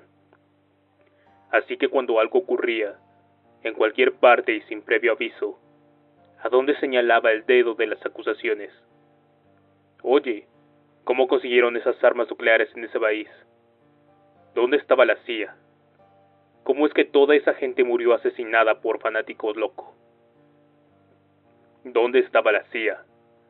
¿Cómo es que cuando los muertos volvieron a la vida, no nos enteramos sino hasta que entramos por las ventanas de la sala? ¿Dónde carajos estaba la maldita CIA? La verdad es que ni la Agencia Central de Inteligencia ni ninguna otra organización de investigación oficial o extraoficial de los Estados Unidos son esa clase de omnipresentes y omniscientes Illuminati de alcance mundial.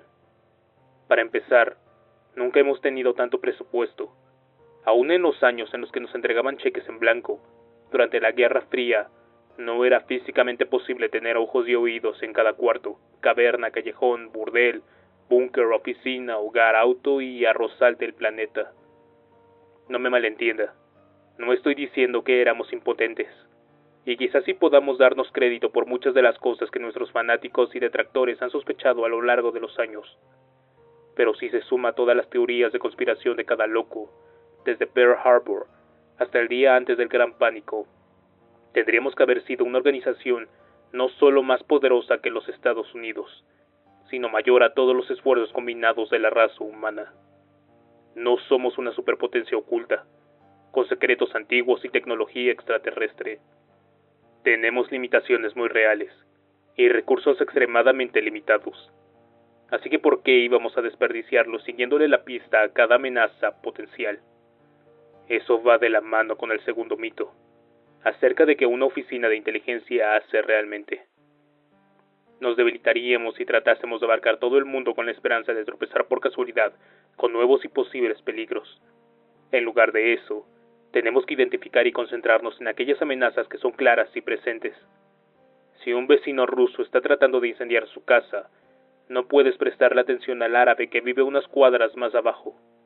Si de pronto los árabes están en tu jardín, no hay tiempo de preocuparse por los chinos.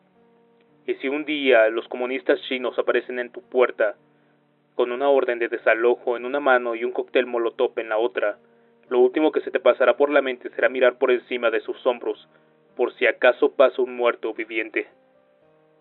¿Pero la epidemia no comenzó en China?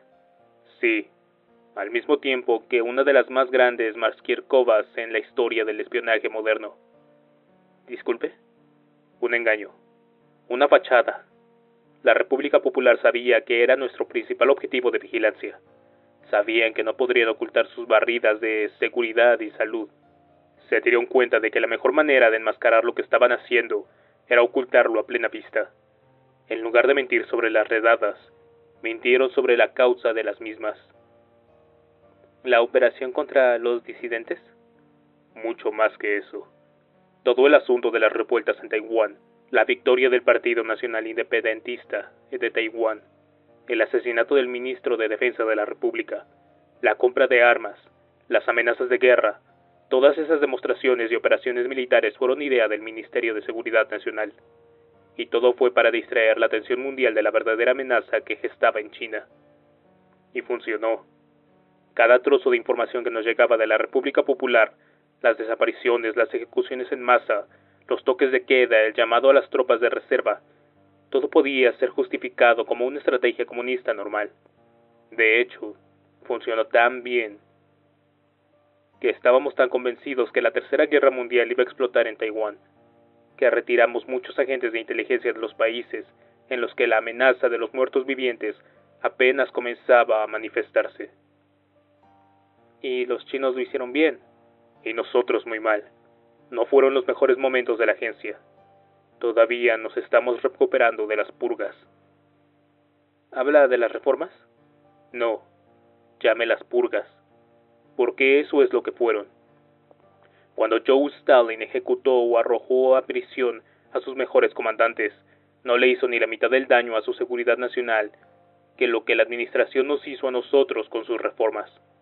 La última guerra en Medio Oriente había sido un desastre. Y adivina a quién le echaron la culpa. Nos habían pedido que justificáramos algo que era en realidad una agenda política. Y cuando esa acción se convirtió en un obstáculo político, las mismas personas que nos dieron las órdenes se mezclaron entre la multitud y nos señalaron con el dedo. ¿Quién nos dijo que debíamos declarar guerra? ¿Quién nos metió en todo ese problema? La CIA, por supuesto. No podíamos defendernos, sin comprometer la seguridad nacional. Tuvimos que quedarnos sentados y aguantar el golpe. ¿Y el resultado?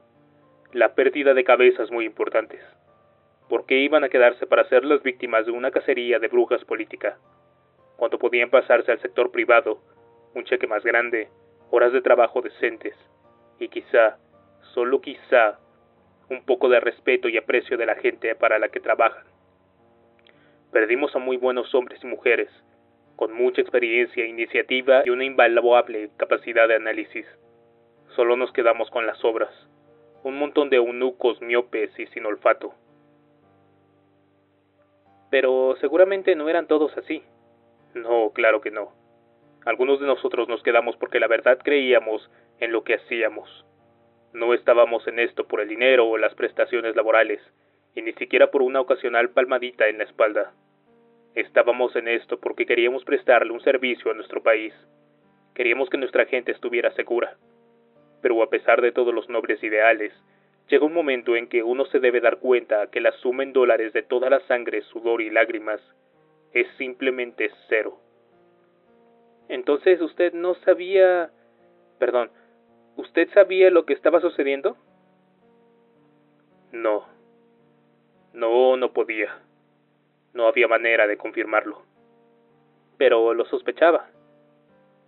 Tenía dudas. ¿Podría ser más específico? No. Lo siento.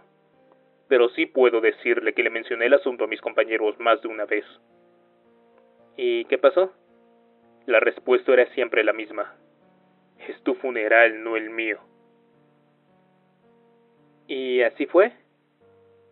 Hablé con... Ah, alguien en una posición de autoridad. Solo fue una reunión de cinco minutos, expresándole mi preocupación. Él me agradeció por haber ido y me dijo que lo reservaría pronto. Al día siguiente recibí mi orden de traslado. Buenos Aires, con efecto inmediato. ¿Alguna vez escuchó del informe Warbrom Knight? Uy, sí. Pero en ese entonces...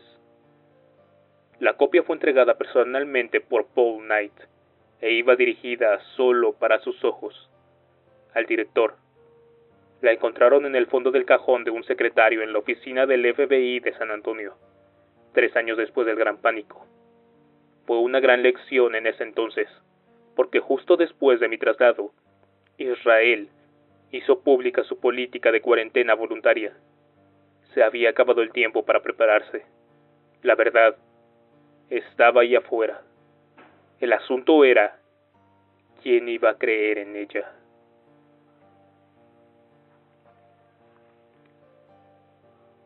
Valaharvi, Finlandia.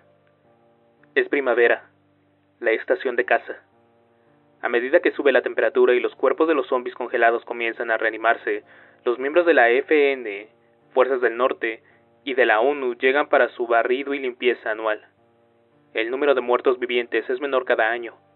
Según las estimaciones actuales, espera que el área sea completamente segura en una década. Travis D. Ambrosia, comandante supremo de la Alianza Europea, está aquí en persona para supervisar las operaciones.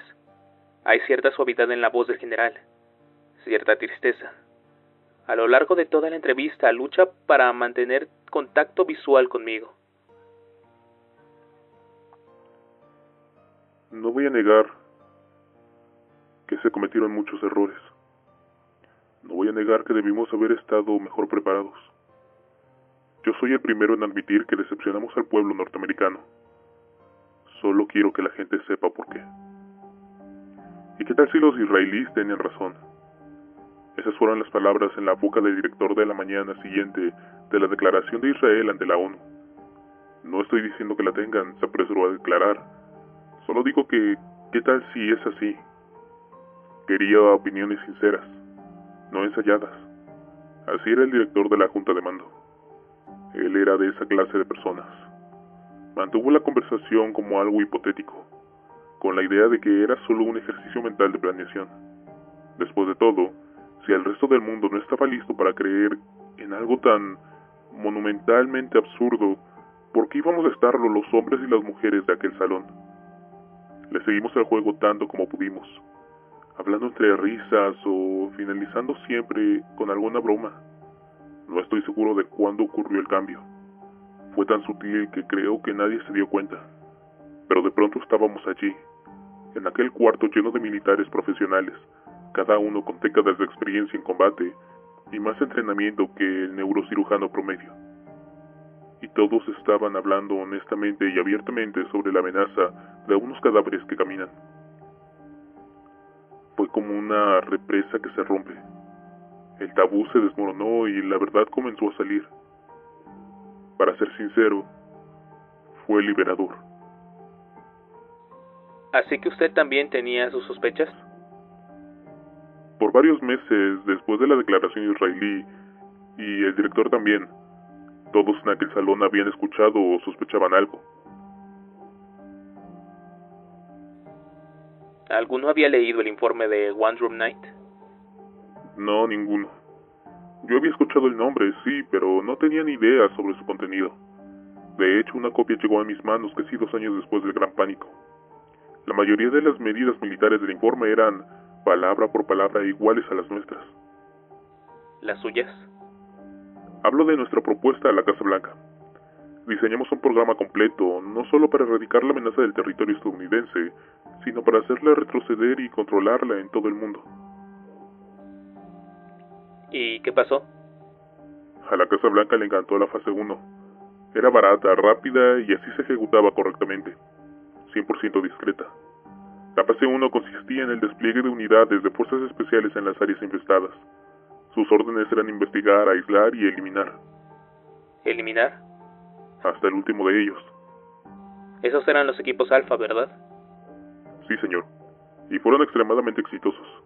Aunque su registro de combate seguirán siendo información declasificada por los próximos 140 años, puedo decirle que ese fue uno de los momentos más sobresalientes en la historia del ejército de élite de Norteamérica. Entonces, ¿qué salió mal? Nada. No en la fase 1, pero se suponía que los equipos alfa eran solo una medida coyuntural. Su misión nunca fue detener la amenaza, solo hacerla retroceder y ganar el tiempo suficiente para la fase 2. Pero la fase 2 nunca se completó, ¿verdad? Ni siquiera se inició. Y esa es la razón por la que el ejército norteamericano fue sorprendido con tan mala preparación. La fase 2 requería una enorme operación de envergadura nacional, de una magnitud que no se había visto desde los días más oscuros de la Segunda Guerra Mundial. Un esfuerzo como ese requería herculeas cantidades de apoyo nacional y de dinero, y ambas cosas para ese momento ya no existían. El pueblo norteamericano había acabado de salir de un largo y sangriento conflicto. Estaban cansados, estaban hartos, al igual que los setentas. El péndulo estaba oscilando en una posición de lucha a una de rencor.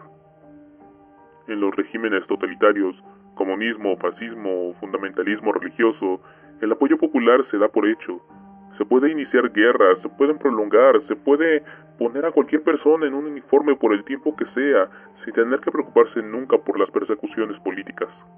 En una democracia la realidad es totalmente opuesta. El apoyo popular debe ser administrado como un recurso extremadamente limitado. Debe gastarse con sabiduría, con mesura y tratando de obtener la mayor ganancia posible. Norteamérica es particularmente sensible a la fatiga de la guerra y nada tiene peores repercusiones políticas como la percepción de la derrota. Digo percepción entre comillas porque la sociedad norteamericana cree que el todo o nada. Eh, bueno, ese dicho tan banal a veces.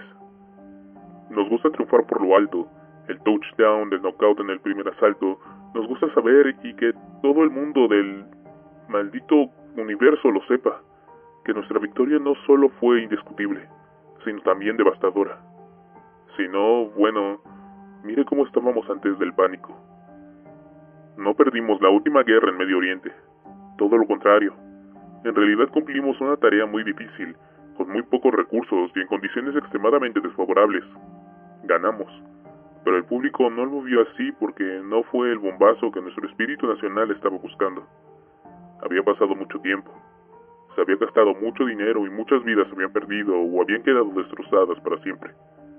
No solamente habíamos derrochado todo nuestro apoyo popular, sino que estábamos en números rojos. Piense solamente en el valor de dólares de la base 2. ¿Sabe cuál es el precio de poner a un ciudadano norteamericano en uniforme? Y no estoy hablando solo del pueblo, del tiempo que pasa activamente con ese uniforme tampoco el entrenamiento, el equipo, la comida, el alojamiento, el transporte y la atención médica. Estoy hablando del valor a largo plazo que el país, el contribuyente norteamericano, tiene que seguir pagando por esa persona durante el tiempo en que le quede de vida. Es una aplastante carga financiera y en esos días apenas si contábamos con suficiente dinero para mantener los soldados que teníamos. Aun si las arcas no hubiesen estado vacías, Aún si hubiésemos tenido todo el dinero y el tiempo necesario para fabricar los uniformes y el equipo necesario para implementar la fase 2, ¿a quién habríamos podido conseguir para llenarlos? Todo eso está relacionado con la fatiga de guerra de los norteamericanos, como si los horrores tradicionales no fuesen suficientes. Los muertos, los desfigurados, los traumatizados por, por vida. Teníamos que enfrentarnos con toda una nueva gama de dificultades. Los traicionados, así les decíamos. Éramos un ejército de voluntarios y miré lo que les pasó a nuestros voluntarios. ¿Cuántas historias ha escuchado sobre un soldado al que le extendieron el tiempo de servicio o un reservista que después de 10 años de vida civil de pronto se vio llamado otra vez al servicio activo? ¿Cuántos soldados perdieron sus trabajos o sus casas? ¿Cuántos regresaron para encontrar sus vidas arruinadas o peor aún nunca regresaron?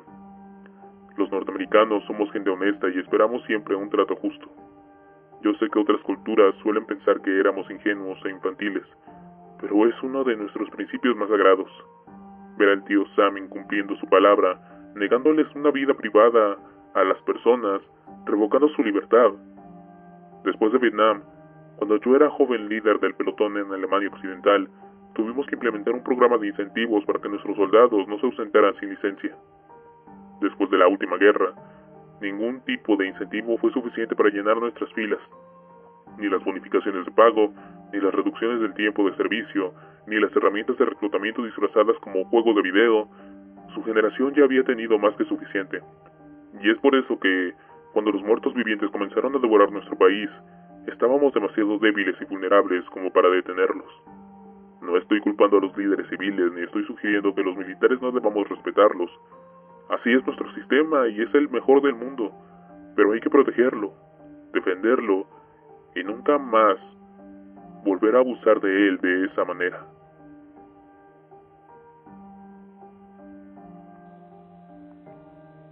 Estación Vostok, Antártida. Antes de la guerra, este refugio era considerado el más remoto de toda la Tierra. Situado cerca del polo geomagnético sur del planeta, sobre la corteza de hielo de 4 kilómetros de espesor del lago Vostok. Las temperaturas aquí han alcanzado un récord mundial a menos 85 grados Celsius. Rara vez suben más allá de los menos 22. El frío extremo y el hecho de que el transporte terrestre tarda más de un mes en llegar a la estación fueron las razones que hicieron de Vostok un lugar tan atractivo para Bering Bridge, Break Scott. Nos reunimos en el domo, el vivero geodésico formado que obtiene su poder del generador geotérmico de la estación. Estas y muchas otras fueron implementadas por el mismo señor Scott cuando alquiló la estación del gobierno ruso. No ha salido de allí desde el gran pánico. ¿Usted sabe sobre la economía? Hablo del gran capitalismo global de antes de la guerra. ¿Entiende cómo funcionaba? Yo no. Y le diga que sí entiende, le está hablando de mierda. No hay reglas. No hay absolutos científicos. Uno gana o pierde. Como lanzando unos dados. La única regla que entendí alguna vez la aprendí de un profesor de historia en Guardog. No de uno de economía. El miedo, decía. El miedo es el producto más valioso de todo el universo. Eso me cambió la vida. Solo enciende la televisión, decía él. ¿Y qué ves? Gente viéndote y vendiéndote productos. No, esa gente está vendiéndote el miedo de tener que vivir sin sus productos. El maldito loco tenía razón. Miedo de envejecer, miedo a estar solo, Miedo a la pobreza, miedo a fracasar. El miedo es la emoción más simple que tenemos. El miedo es primitivo. El miedo vende. Ese era mi lema. El miedo vende. Cuando escuché por primera vez de la epidemia, cuando todavía la llamaban rabia africana, vi la mayor oportunidad de mi vida. Nunca voy a olvidar ese reportaje, la infección en Ciudad del Cabo Solo 10 minutos de reportaje real y más de una hora de especulaciones sobre lo que pasaría si el virus llegaba a Norteamérica. Dios bendiga a la noticia. Estaba marcando un número telefónico apenas 30 segundos después. Me reuní con algunas de mis personas de confianza. Todos habían visto el reportaje, pero fui el primero al que se le ocurrió una idea rentable. Una vacuna. Una vacuna contra la rabia. Gracias a Dios que la rabia no tiene curra. Con una curra la gente la compraría solo cuando creyesen que estaban infectados. Pero era una vacuna. Eso es prevención. La gente se la seguiría aplicando mientras existiese el miedo de que algo seguía todavía ahí afuera. Teníamos muchos contactos en la industria biomédica y muchos más en los laboratorios de Hill y Payne Avenue. Podríamos tener un prototipo en menos de un mes y una propuesta escrita en solo un par de días. Para cuando llegamos al 8-18, todo eran apretones de manos y felicitaciones. ¿Y qué harían con la FDA? Por favor, lo dice en serio. En ese entonces la FDA era una de las organizaciones más pobres y más mal administradas de todo el país. Creo que todavía estaban celebrando por haber sacado el colorante rojo número 2 de los M&M's. Además, Estábamos en una de las administraciones más ventajosas para los negocios de toda la historia de Norteamérica. JP Morgan y John D. Rockefeller seguramente se estaban masturbando en sus tumbas pensando en el tipo ese de la Casa Blanca. Su gente ni siquiera se molestó en leer nuestro reporte de estimación de costos. Supongo que ya estaban buscando una curra milagrosa. Nos pasaron a través de la FDA en menos de dos meses. ¿Recuerda ese discurso del Presi antes del Congreso, diciendo que ya había sido aprobada en Europa y que lo único que le estaba demorando era nuestra hinchada burocracia. ¿Recuerda todo lo eso de que la gente no necesitaba un buen gobierno sino buena protección y la necesidad de ahorra? Jesucristo. Creo que medio país se vino en los pantalones al escuchar eso. ¿Qué tanto subió su popularidad esa noche? ¿60, 70%? Yo solo sé que nuestra OVP subió 389% en un solo día. Trágate eso, Baidu.com. ¿Y ustedes no sabían si funcionaba? Sabíamos que funcionaba contra la rabia, y eso es lo que decía Guerra. Sí, pero era una cepa extraña de la rabia de la selva. ¿Quién dijo eso? Ya sabes, ellos, los de la ONU, y todos los demás Así es como todo el mundo la llamaba, la rabia africana. ¿Alguna vez la comprobaron en una víctima real? ¿Por qué? La gente se hacía vacunar contra la gripe todo el tiempo y nunca sabía si la vacuna era para la cepa correcta.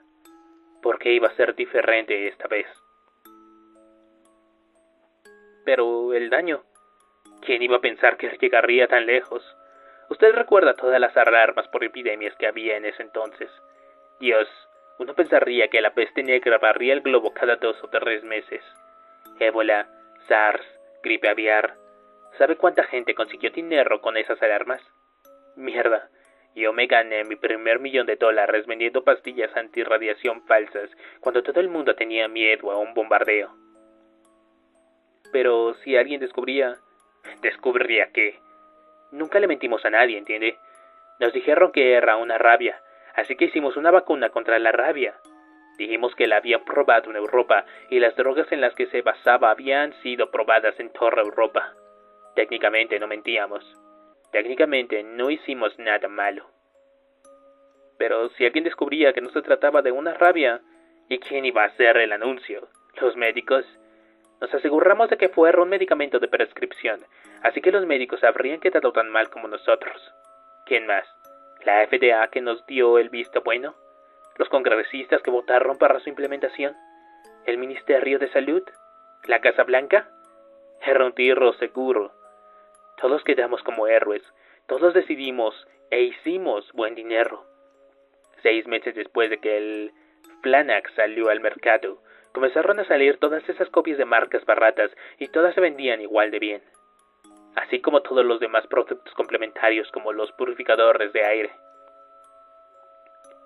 Pero el virus no se contagiaba por el aire. Eso no importaba. Lo importante era que tenía la misma marca, de los creadores de... Todo lo que yo tenía que hacer era que puede prevenir algunas infecciones virales. Eso era todo. Ahora entiendo por qué es ilegal gritar fuego en un teatro. La gente no va a decir, hey, no huele a quemado, no hay ningún fuego. No, la gente va a decir, mierda, un incendio, corran.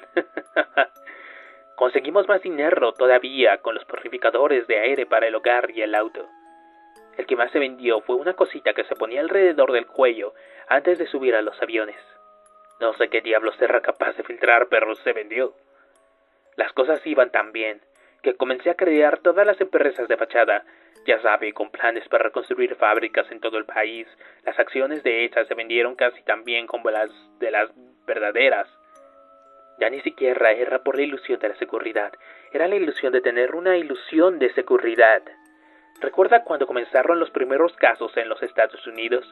Ese tipo de Florida que dijo haber sido mordido, pero que sobrevivió gracias a que estaba tomando Flanex. Vaya. Que Dios bendiga a ese imbécil quien quiera que sea. Pero no fue por el Flanax. Su droga no hacía nada para proteger a la gente. Los protegía de sus miedos. Eso era lo que yo vendía. Diablos, gracias al Flanax el sector de la biomedicina comenzó a recuperarse, lo cual a su vez puso en pie a todo el sector financiero y nos dio la impresión de que una bonanza económica era inevitable. Y eso les devolvió la confianza a los consumidores y estimuló la verdadera recuperación. El Flanax fue lo que acabó con la recesión. Yo, yo acabé con la recesión. ¿Y luego?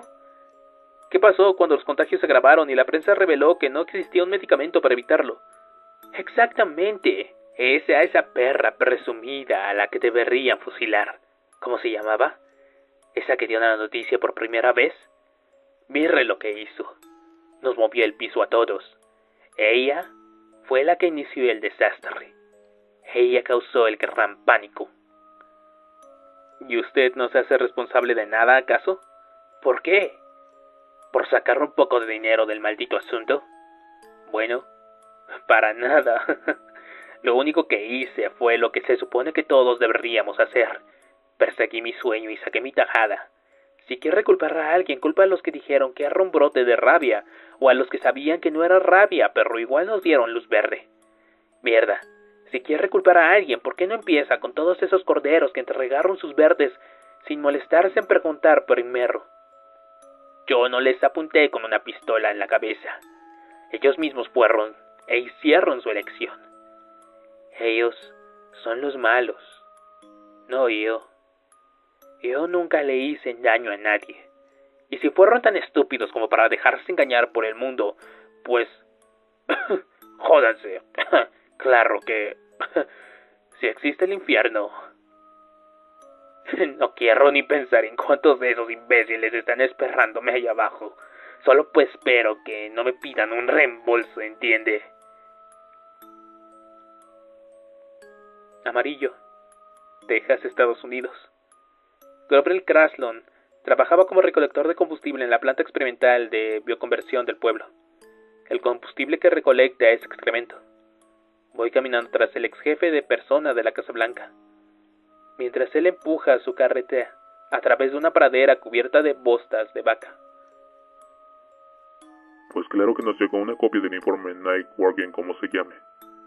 ¿Acaso cree que éramos como la CIA? Lo leímos tres meses antes de que los israelíes hiciesen su declaración pública, antes de que el Pentágono dijera algo. Mi trabajo era darle personalmente la información al presidente, y a él, a su vez, dedicó toda una reunión a discutir el mensaje. ¿Y cuál era? Dejar todo lo demás. Concentrar los esfuerzos típica basura alarmista, eso es lo que creíamos en ese entonces. Recibíamos docenas de esos reportes cada semana, Todas las administraciones lo recibían, cada uno afirmando que su espanto de turno era la mayor amenaza para la raza humana. Vamos, puede imaginarse qué habría pasado con los Estados Unidos si el gobierno federal hubiese entrado en alerta cada vez que algún loco paranoico gritaba el lobo o el calentamiento global o los muertos vivientes. Por favor, lo que hicimos, lo que todos los presidentes desde Washington habían hecho, fue dar una respuesta apropiada y mesurada según un estímulo realista de la amenaza. Y esos fueron los equipos alfa, ¿no? Entre otras cosas. Debido a la baja prioridad que el Consejo de Seguridad Nacional asignó a todo el asunto, consideró que le entregamos una buena parte de nuestros recursos. Editamos un video educacional para las oficiales estatales y locales también sobre qué hacer en casos de una infección. El Departamento de Salud y Servicios Humanos subió una página a su sitio web indicando a los ciudadanos cómo tratar a sus familiares infectados. Y bueno, ¿qué cree que hicimos al ayudar a que el Flanax fuese aprobado por la FDA? Pero el Flanax no servía. Sí. ¿Y sabe cuánto tiempo nos habría tomado crear un medicamento que funcionara? Mire todo el tiempo y dinero que habíamos gastado en la investigación del cáncer o el SIDA. ¿Acaso le gustaría ser el hombre encargado en decirle al público norteamericano que se están recortando fondos en esas investigaciones para analizar otra enfermedad que la mayoría ni siquiera conoce? Mire, todo lo que hemos gastado en la investigación durante después de la guerra y todavía no tenemos ni curas ni vacunas. Es absurdo. Sabíamos que el plan AX era un placebo, pero nos hacían sentir agradecidos. Mantuvo a la gente tranquila y nos dejaba hacer nuestro trabajo. ¿Y acaso esperaba que le dijéramos la verdad a la gente? ¿Que todo aquello no era una nueva cepa de rabia, sino un misterioso supervirus que reanimaba a los muertos?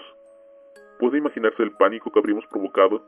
¿Las protestas, los motines, los miles de millones de daños a la propiedad privada? ¿Puede imaginarse a todos esos cobardes senadores impidiendo las acciones del gobierno para tratar de aprobar una complicada e inútil ley de protección de los zombies en el Congreso? ¿Puede imaginar el daño que eso le habría ocasionado al capital político de nuestra administración? Estábamos en el año de las elecciones, y la pelea estaba cuesta arriba. Nosotros habíamos sido un equipo de limpieza, unos idiotas sin suerte que habíamos tenido que limpiar toda la mierda que había dejado a la administración anterior. Y créame, en los ocho años anteriores había formado una enorme montaña de mierda. La única razón por la que habíamos subido al poder era porque el nuevo gran jefe había prometido un regreso de la paz y la prosperidad. El pueblo norteamericano no se sentiría satisfecho con ninguna otra cosa. Nuestra opinión general era que ya habían pasado por tiempos muy difíciles, y habría sido un suicidio político decirles que nos venían encima unos años más difíciles aún. Así que en realidad nunca trataron de resolver el problema. Por favor, ¿acaso usted no puede resolver la pobreza? ¿Puede resolver la criminalidad? ¿Puede resolver los problemas de salud, el desempleo, la guerra o cualquier otro padecimiento social? Claro que no. Lo mejor que se puede esperar es hacerlos los más manejables posibles que sea, para que la gente continúe su vida. Eso no es cinismo, es madurez. No se puede detener la lluvia. Lo único que se puede hacer es construir un techo y esperar a que no tenga goteras. O al menos que las goteras no caigan sobre la gente que va a votar por uno. ¿Eso qué quiere decir? Vamos. En serio, ¿qué quiere decir con eso? Ah, está bien, como quiera. Don Carlitos va al maldito Washington. Quiere decir que en la política uno concentra sus esfuerzos en las necesidades de la población que forma la base de su poder. Ellos están felices y los mantienen a uno en el cargo. ¿Por eso algunos de los brotes fueron ignorados? Jesús lo dice como si nos hubiésemos olvidado de ellos. ¿Las fuerzas policiales locales le solicitaron ayuda al gobierno federal? ¿Cuándo los policías no han pedido más gente? Mejor equipo, más horas de entrenamiento o más programas de extensión a la comunidad. Esos maricas son casi peores que los soldados, siempre quejándose porque no tienen lo que necesitan. ¿Pero acaso ellos tienen que arriesgar sus puestos subiendo los impuestos? ¿Acaso les toca explicarle a don Pedro clase media por qué tiene que pagar impuestos para subsidiar a Pablo clase baja? ¿No les preocupaba que todo eso se hiciera público? ¿Quién iba a hacerlo? La prensa, los medios. Los medios. Habla de esas cadenas que le pertenecían a algunas de las corporaciones más grandes del mundo. Corporaciones que se habrían hundido si el mercado de valores entraba en pánico. ¿Esos medios? ¿Entonces ustedes nunca planearon encubrirlo? No teníamos que hacerlo. Ellos mismos se encargaban de encubrirlo, ¿entiendes? Ellos tenían tanto o más que perder que nosotros. Además, ellos ya habían dado la gran noticia del año anterior, con los primeros casos reportados en Norteamérica. Luego, llegó el invierno, el Flanax salió a la venta y los casos disminuyeron. Quizá tuvieron que convencer a algunos reporteros jóvenes e idealistas, pero en realidad todo el asunto era una noticia vieja después de unos meses. Se había vuelto manejable. La gente ya se había acostumbrado a vivir con esa noticia y querían algo diferente. Las noticias son un negocio y hay que mantenerse fresco si se quiere seguir teniendo éxito. Pero estaban los medios alternativos. Sí, claro, ¿y sabe quién escuchaba a esos? Niñitos sabe todos, intelectuales y presumidos. ¿Y sabe quién los escucha a ellos? Nadie. ¿A quién le iba a importar a una minoría en la televisión y radio de acceso público? Que no sabían nada de lo que estaba de moda. Entre más gritaban esos aviondos elitistas que los muertos vuelven a caminar, más norteamericanos de verdad dejaban de escucharlo. Entonces, déjeme ver si entiendo su posición. La posición de nuestra administración, por favor. Ok, la posición de la administración, que fue darle al problema la atención que creyeron que se merecía? Sí. ¿Por qué en todo momento el gobierno tiene muchos asuntos sobre la mesa, sobre todo en ese momento? ¿Por qué lo último que deseaban los norteamericanos era otra oleada de terror? ¿Estoy de acuerdo? Ajá. Así que consideraron que las amenazas eran lo suficientemente pequeñas como para ser manejadas por los equipos alfa en ultramar y dándole su entrenamiento básico a los oficiales de este estado. Por fin entendió. Aún a pesar de que habían recibido advertencias indicando lo contrario, que no se podía ocultar al público. Y en realidad era una catástrofe mundial en potencia.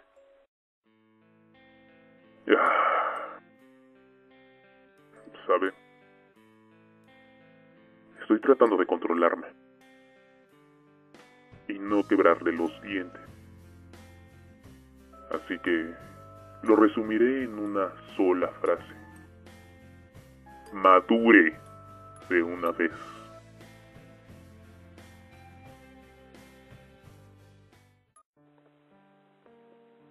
Bridgetown, Barbados, Federación de las Indias Occidentales. El Trevor Bore es una viva representación del espíritu de los salvajes Indias Occidentales o más exactamente del carácter de cada isla como zona económica especial. Este lugar no parece lo que la mayoría de las personas imaginaría en la organización y tranquilo Caribe de la posguerra. No es su intención hacerlo.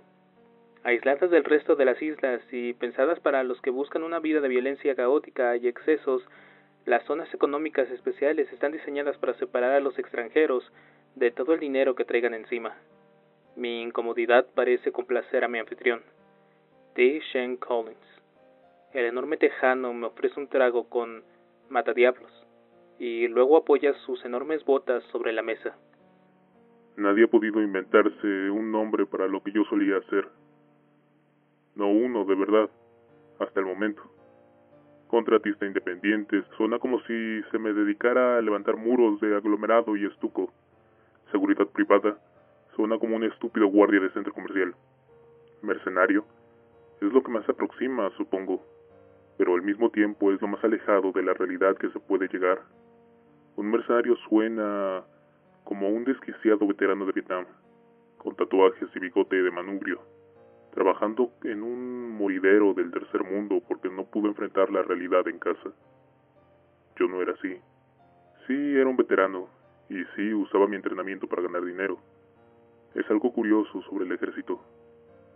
Siempre prometen que te enseñarán habilidades para ganarte la vida, pero nunca te dicen que entre todas las cosas no hay nada con lo que uno se pueda ganar mejor la vida que matando a cierta gente y evitando que maten a otras. Quizás sí era un mercenario, pero nadie sospecharía eso al mirarme. Me mantenía bien peinado, con un buen auto, una casa bonita y hasta una señora que iba a hacer la limpieza un día a la semana. Tenía bastantes amigos, un par de prospectos de matrimonio y mi puntaje en el country club era casi tan bueno como el de los profesionales. Lo más importante era que trabajaba para una compañía que no era muy diferente a las demás que existían antes de la guerra. Nada de disfraces y armas escondidas, nada de cuartos oscuras o sobresellados. Tenía vacaciones y licencias, plan dental y seguro médico. Pagaba mis impuestos y a veces de sobra. Pagaba hasta una pensión de retiro. Podría haberme ido a trabajar al viejo continente. Dios sabe que allá había mucha demanda, pero después de ver lo que les había pasado a mis colegas en la última guerra, lo mandé todo al diablo. Prefería quedarme con guardaespaldas de algún gerente gordo o de alguna celebridad estúpida y malcriada. Eso era exactamente lo que estaba haciendo cuando llegó el gran pánico. No le importa que no mencione ningún nombre, ¿verdad? Algunas de esas personas todavía están vivas o sus derechos de autor siguen vigentes. Y puede creerlo. Todavía amenazan con demandar. Después de todo lo que ha pasado. Bueno, no puedo darle nombres ni lugares, pero imagínese que esto ocurrió en una isla, una isla grande, una isla larga, justo al lado de Manhattan. No me pueden demandar por eso, ¿o sí?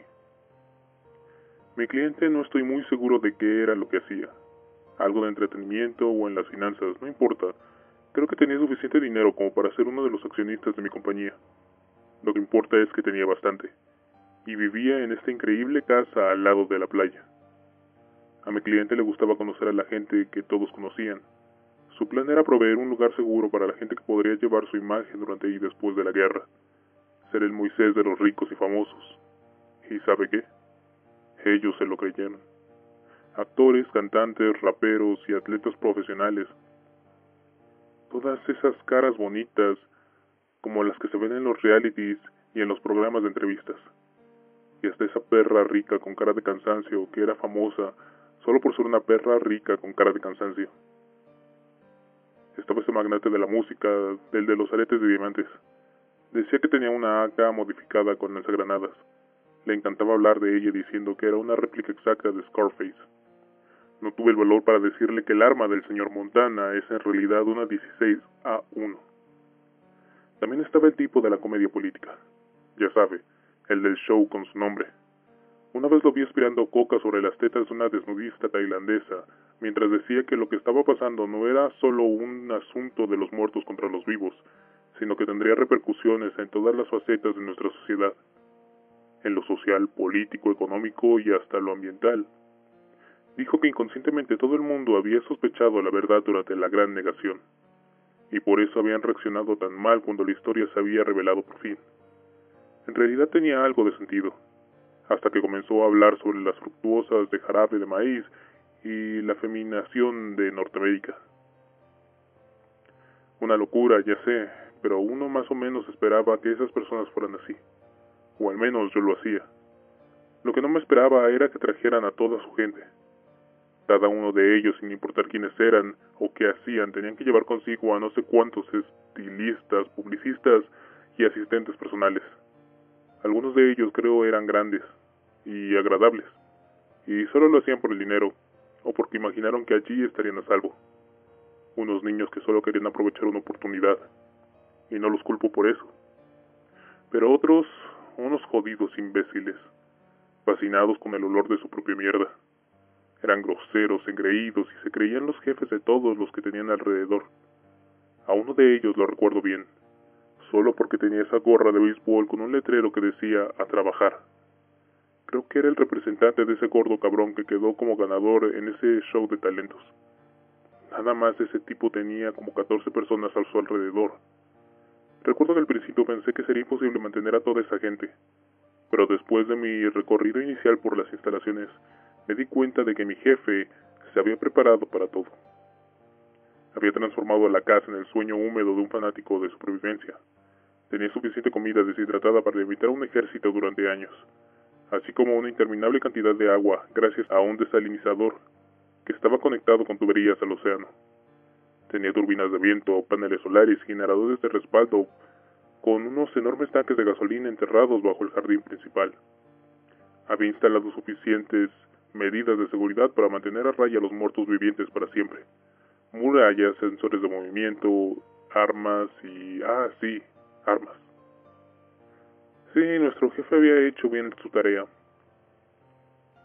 Pero lo que lo hacía sentir más orgulloso era que cada habitación de la casa estaba conectada y cableada para transmitir todo por internet las 24 horas del día.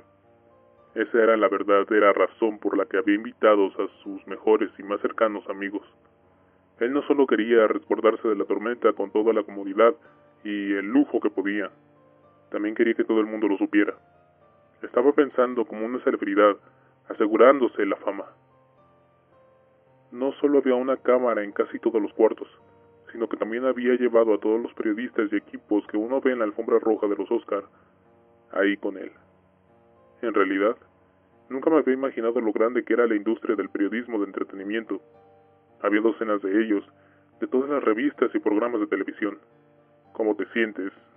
Esa la escuché muchas veces. ¿Cómo le estás pasando? ¿Qué crees que va a pasar? Y mejor que alguna vez alguien me preguntó de qué marca es esa ropa. Para mí, el momento más irreal fue una vez que estábamos en la cocina con otros miembros del equipo y los guardaespaldas, viendo las noticias y allí en la pantalla adiviné que salíamos nosotros. Las cámaras estaban en el cuarto de al lado enfocando a algunas de las estrellas, sentadas en un sofá mientras veían otro canal.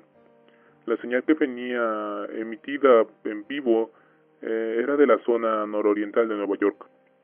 Los muertos subían por la tercera avenida y la gente los enfrentaba a mano, con martillos y con tubos de metal. El dueño de una tienda de deportes, Moro, estaba repartiendo bates de béisbol y gritaba, denles en la cabeza. Salió un tipo de patines.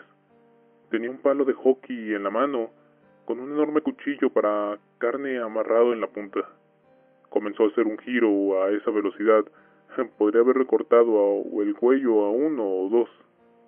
Las cámaras lo filmaron todo.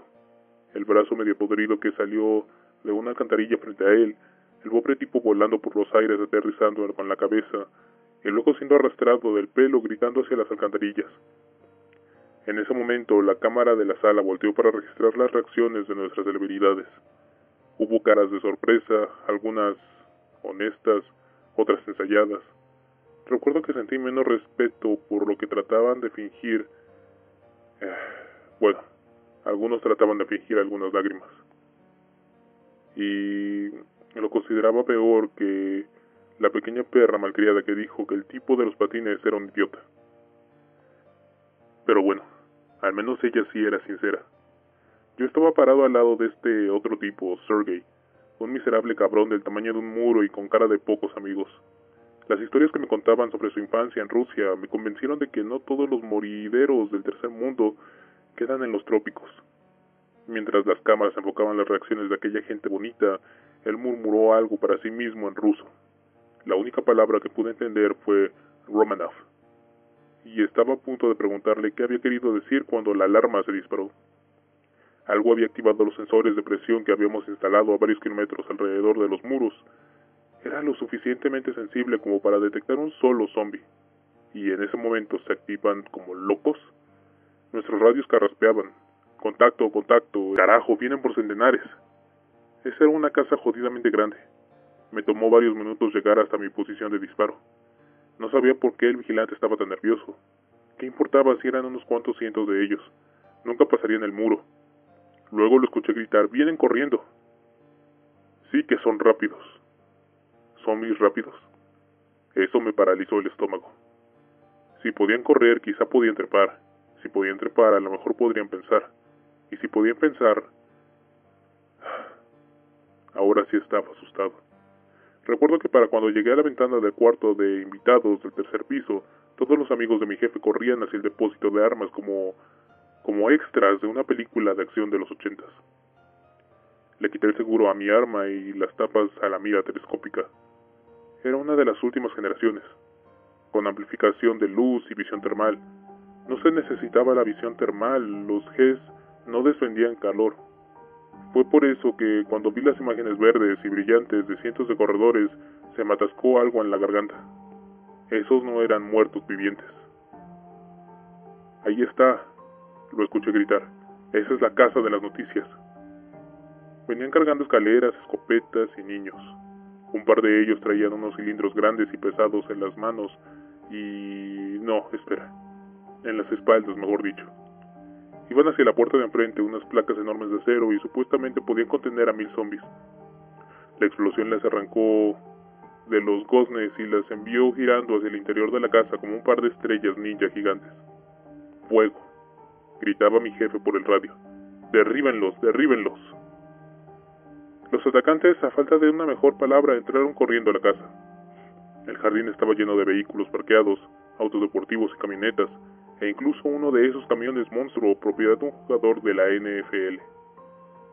Unas enormes bolas de fuego, todos ellos estallando unos al lado de otros, o convirtiéndose en chatarra ardiente desde, bueno, la explosión. Y el humo negro de los neumáticos ahogando todo. Eso también lo recuerdo. Lo único que se escuchaba eran disparos. Y no eran solo de nuestro equipo de seguridad, Cualquier pez gordo que todavía no se hubiera cagado en los pantalones estaba tratando de ser un héroe o de proteger su reputación frente a su gente. Muchos de ellos les ordenaron a su equipo que los protegieran. Algunos obedecieron. Estos pobres asistentes personales de veintitantos años que no habían cogido un arma en toda su vida, no duraron mucho. Pero también hubo algunos peones que se torcieron y se unieron a los atacantes. Vi a uno de esos estafistas una verdadera loca, clavándole un abrelatas en la boca a una actriz. Y también, irónicamente, vi al señor, que para él todo el trabajo, intentando arrebatarle una granada al tipo del show de talentos antes de que estallara entre los dos. Todo ese era un caos, justo lo que uno se imagina cuando piensa en el fin del mundo. Una parte de la casa estaba en llamas. Había sangre por todas partes, cuerpos completos o en pedazos, regado sobre los muebles más caros. Me crucé con el chihuahua de la perra malcriada, cuando corríamos hacia la salida trasera. Él me miró, yo lo miré. Si él hubiese podido hablar, seguramente nos habríamos dicho algo como, ¿qué pasará con tu amo? ¿Qué pasará con la tuya? sí, bueno, al diablo. Esa era la actitud de casi todos nosotros, y la razón por la que no había disparado ni un solo tiro en toda la noche. Nos habían pagado para proteger a esa gente rica de los zombies. Mm, pero no de otra gente menos rica que solo quería un lugar seguro donde refugiarse. Podíamos escuchar cómo gritaban mientras entraban por la puerta del frente. No, decían, agarren el trago, tírense esa perra, decían, apaguen el fuego y lleven a las mujeres y a los niños de arriba. Me tropecé con el tipo de comedia política camino hacia la playa. Él y una mujer, una vieja y rubia y estirada, que se suponía era su enemiga política, estaban tirados en el piso dándole a eso como si no hubiera mañana. Y bueno, quizá para ellos no lo hubo. Llegué hasta la arena, encontré una tabla de surf que probablemente había costado más que la casa en la que me crié, y comencé a nadar hacia las luces del horizonte. Había muchos barcos en el agua esa noche, un montón de gente saliendo de Nueva York. Confié que uno de ellos me llevaría al menos hasta el puerto. Con algo de suerte, podría sobornarlos con un par de aretes de diamantes. Algunas veces me pregunto por qué diablos no se quedaron callados, ¿me entiendes? No solo mi jefe, sino todos esos parásitos mimados. Tenían los recursos necesarios para mantenerse alejados del peligro. Entonces, ¿por qué no los usaron? Irse para la Antártica, o Groenlandia, o quedarse donde estaban pero escondidos al ojo del público. Quizá no eran capaces de pensar de otra manera, como un interruptor que podían apagar. A lo mejor ese o eso fue lo que los convirtió en lo que eran en primer lugar. ¿Cómo diablos voy a saberlo? Ciudad de hielo, Groenlandia.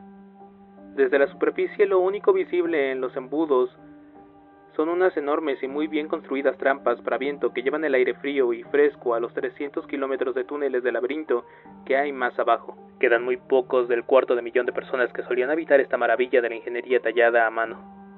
Algunos se quedaron para animar al pequeño pero creciente comercio turístico. Patrimonio de la Humanidad de la UNESCO. Algunos otros, como Ahmed Faranakian, antes conocido como el mayor Farkansin, de la Fuerza Aérea Revolucionaria Israelí, perdón, iraní, no tienen más a dónde ir. India y Pakistán, al igual que en Corea del Norte y del Sur, o la OTAN y el Pacto de Varsovia, si existían dos países que seguramente iban a usar armas nucleares el uno contra el otro, tenía que ser India y Pakistán. Todo el mundo lo sabía, todo el mundo se lo esperaba, y era por eso exactamente que nunca pasaba nada. Como el peligro era omnipresente, a lo largo de los años había puesto en marcha una complicada maquinaria para evitarlo. Había una línea directa entre las dos capitales. Los embajadores ya se llamaban por su primer nombre y los generales políticos y todos los involucrados en el proceso estaban entrenados para asegurarse de que el día que todos temían nunca llegara. Nadie podía imaginarse que los hechos se desarrollarían como lo hicieron al final. La infección no nos había golpeado tan fuerte a nosotros como a los demás países. Nuestra tierra era demasiado montañosa, el transporte era complicado, nuestra población era relativamente poca, dado el tamaño de nuestro país, y ya que la mayoría de nuestras ciudades podían ser acordonadas por nuestra enorme fuerza militar, no es difícil ver por qué nuestros líderes se mostraban más bien optimistas. El problema fueron los refugiados, millones de ellos desde el oriente, millones, como un río a través de Baluchtikan, arrasando con nuestras planicies. Muchos de ellos habían sido ya infectados, enjambres cojeantes acercándose a nuestras ciudades. Nuestros guardias fronterizos fueron barridos por completo, instalaciones enteras sepultadas por la oleada de muertos. No había manera de cerrar las fronteras y lidiar con nuestras propias epidemias al mismo tiempo. Exigimos a los pakistaníes que controlasen a su gente. Nos aseguraron que estaban haciendo todo lo que podían. Sabíamos que estaban mintiendo. La mayor parte de los refugiados venía desde la India, atravesando Pakistán en un intento de llegar a un lugar más seguro. La gente de Islamabad estaba más que dispuesta a dejarlos pasar. Era mejor dejarle el problema a otro país en lugar de resolverlo ellos mismos. Quizás hubiésemos unido nuestras fuerzas, organizado una operación conjunta en alguna posición fácil de defender, sé que pusimos planes de eso sobre la mesa.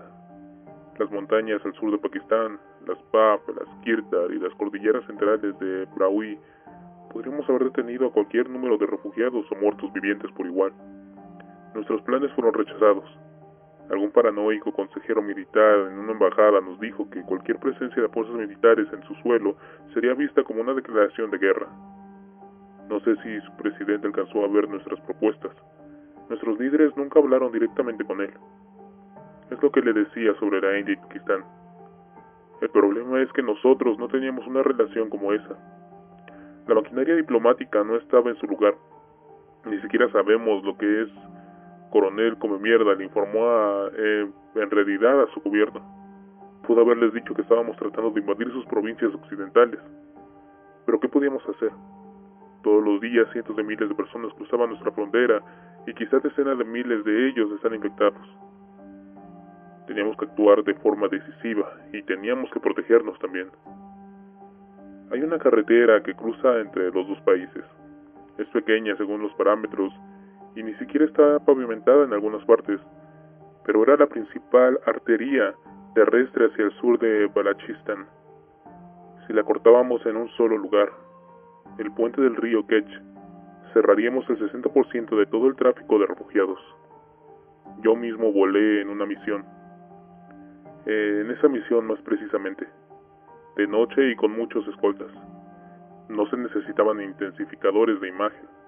Se podía ver las farolas desde kilómetros de distancia, una delgada línea blanca extendiéndose en la oscuridad. Incluso pude ver a los fogonazos de las ramas. El área estaba gravemente infectada e infestada. Apunté los cimientos centrales del puente, que era la parte más difícil de reconstruir. Las bombas se separaron limpiamente. Eran municiones convencionales altamente explosivas. Apenas se separaron lo suficiente para cumplir con el trabajo. Nuestros aviones eran norteamericanos de la época en que éramos sus aliados más convenientes y los usamos para destruir un puente construido en suelo extranjero, también con ayuda de Norteamérica. La ironía del asunto no se le escapó a nuestros comandantes. En lo personal no podía importarme menos. Tan pronto como sentí que mi Phantom se hacía más ligero, encendí los retroquemadores, esperé el reporte de mi avión observador y recé con toda mi alma para que los pakistaníes no nos devolvieran el golpe. Por supuesto mis plegarias no fueron escuchadas. Tres horas después sus tropas de Kilab Sef atacaron nuestra estación fronteriza. Me enteré después de que nuestro presidente y el ayatollah decidieron no hacer nada. Habíamos conseguido lo que queríamos y ellos habían tenido su venganza. Ojo por ojo. Era mejor dejarlo así. Pero ¿quién iba a informar de esa decisión al otro lado? Los radios y códigos de su embajada en Teherán fueron destruidos. El coronel, hijo de putas, había disparado en la boca antes de revelar cualquier secreto de Estado. No teníamos líneas directas con ellos, ni canales diplomáticos. No sabíamos cómo más contactar a los líderes pakistaníes. Ni siquiera sabíamos si sus líderes seguían vivos. Con cada hora los conflictos aumentaban. Luchas, fronterizas, bombardeos. Todo sucedió tan rápido. Tres días de guerra convencional y ninguno de los bandos tenía ningún objetivo específico. Solamente era ira y pánico. Creamos una bestia, un monstruo nuclear que ninguno de los dos bandos podía controlar. Teherán, Islamabad, Qom, Lahore, Bandar, Abbas, Ormara, Eman Faisalabad. Nadie sabe cuántos murieron en las explosiones, ni cuándo las nubes radiactivas comenzaron a moverse sobre nuestros territorios, sobre la India, sobre Asia suroriental, sobre el Pacífico, hasta América. Nadie pensó que eso podría pasar, no entre nosotros. Por Dios, ellos mismos nos habían ayudado a organizar nuestros programas de defensa nuclear.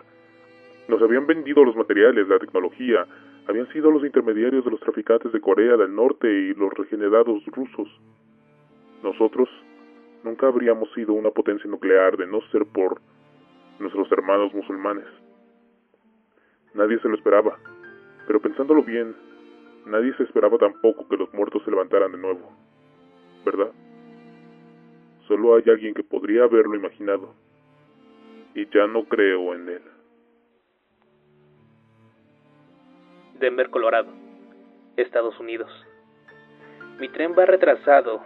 Están probando el puente levadizo occidental. A Tough Wayno no parece importarle el tener que esperarme en la plataforma. Estrechó su mano bajo el mural de la victoria, la imagen más representativa de la experiencia norteamericana en la Guerra Mundial Z, basado originalmente en una fotografía. La obra muestra a un escuadrón de soldados de pie en la orilla del río Hudson, que da hacia Nueva Jersey, dándole la espalda al observador mientras miran al amanecer sobre Manhattan. Mi anfitrión parece pequeño y frágil, al lado de esos enormes íconos bidimensionales, al igual que casi todos los hombres de su generación. Todd Wayne ha envejecido antes de tiempo.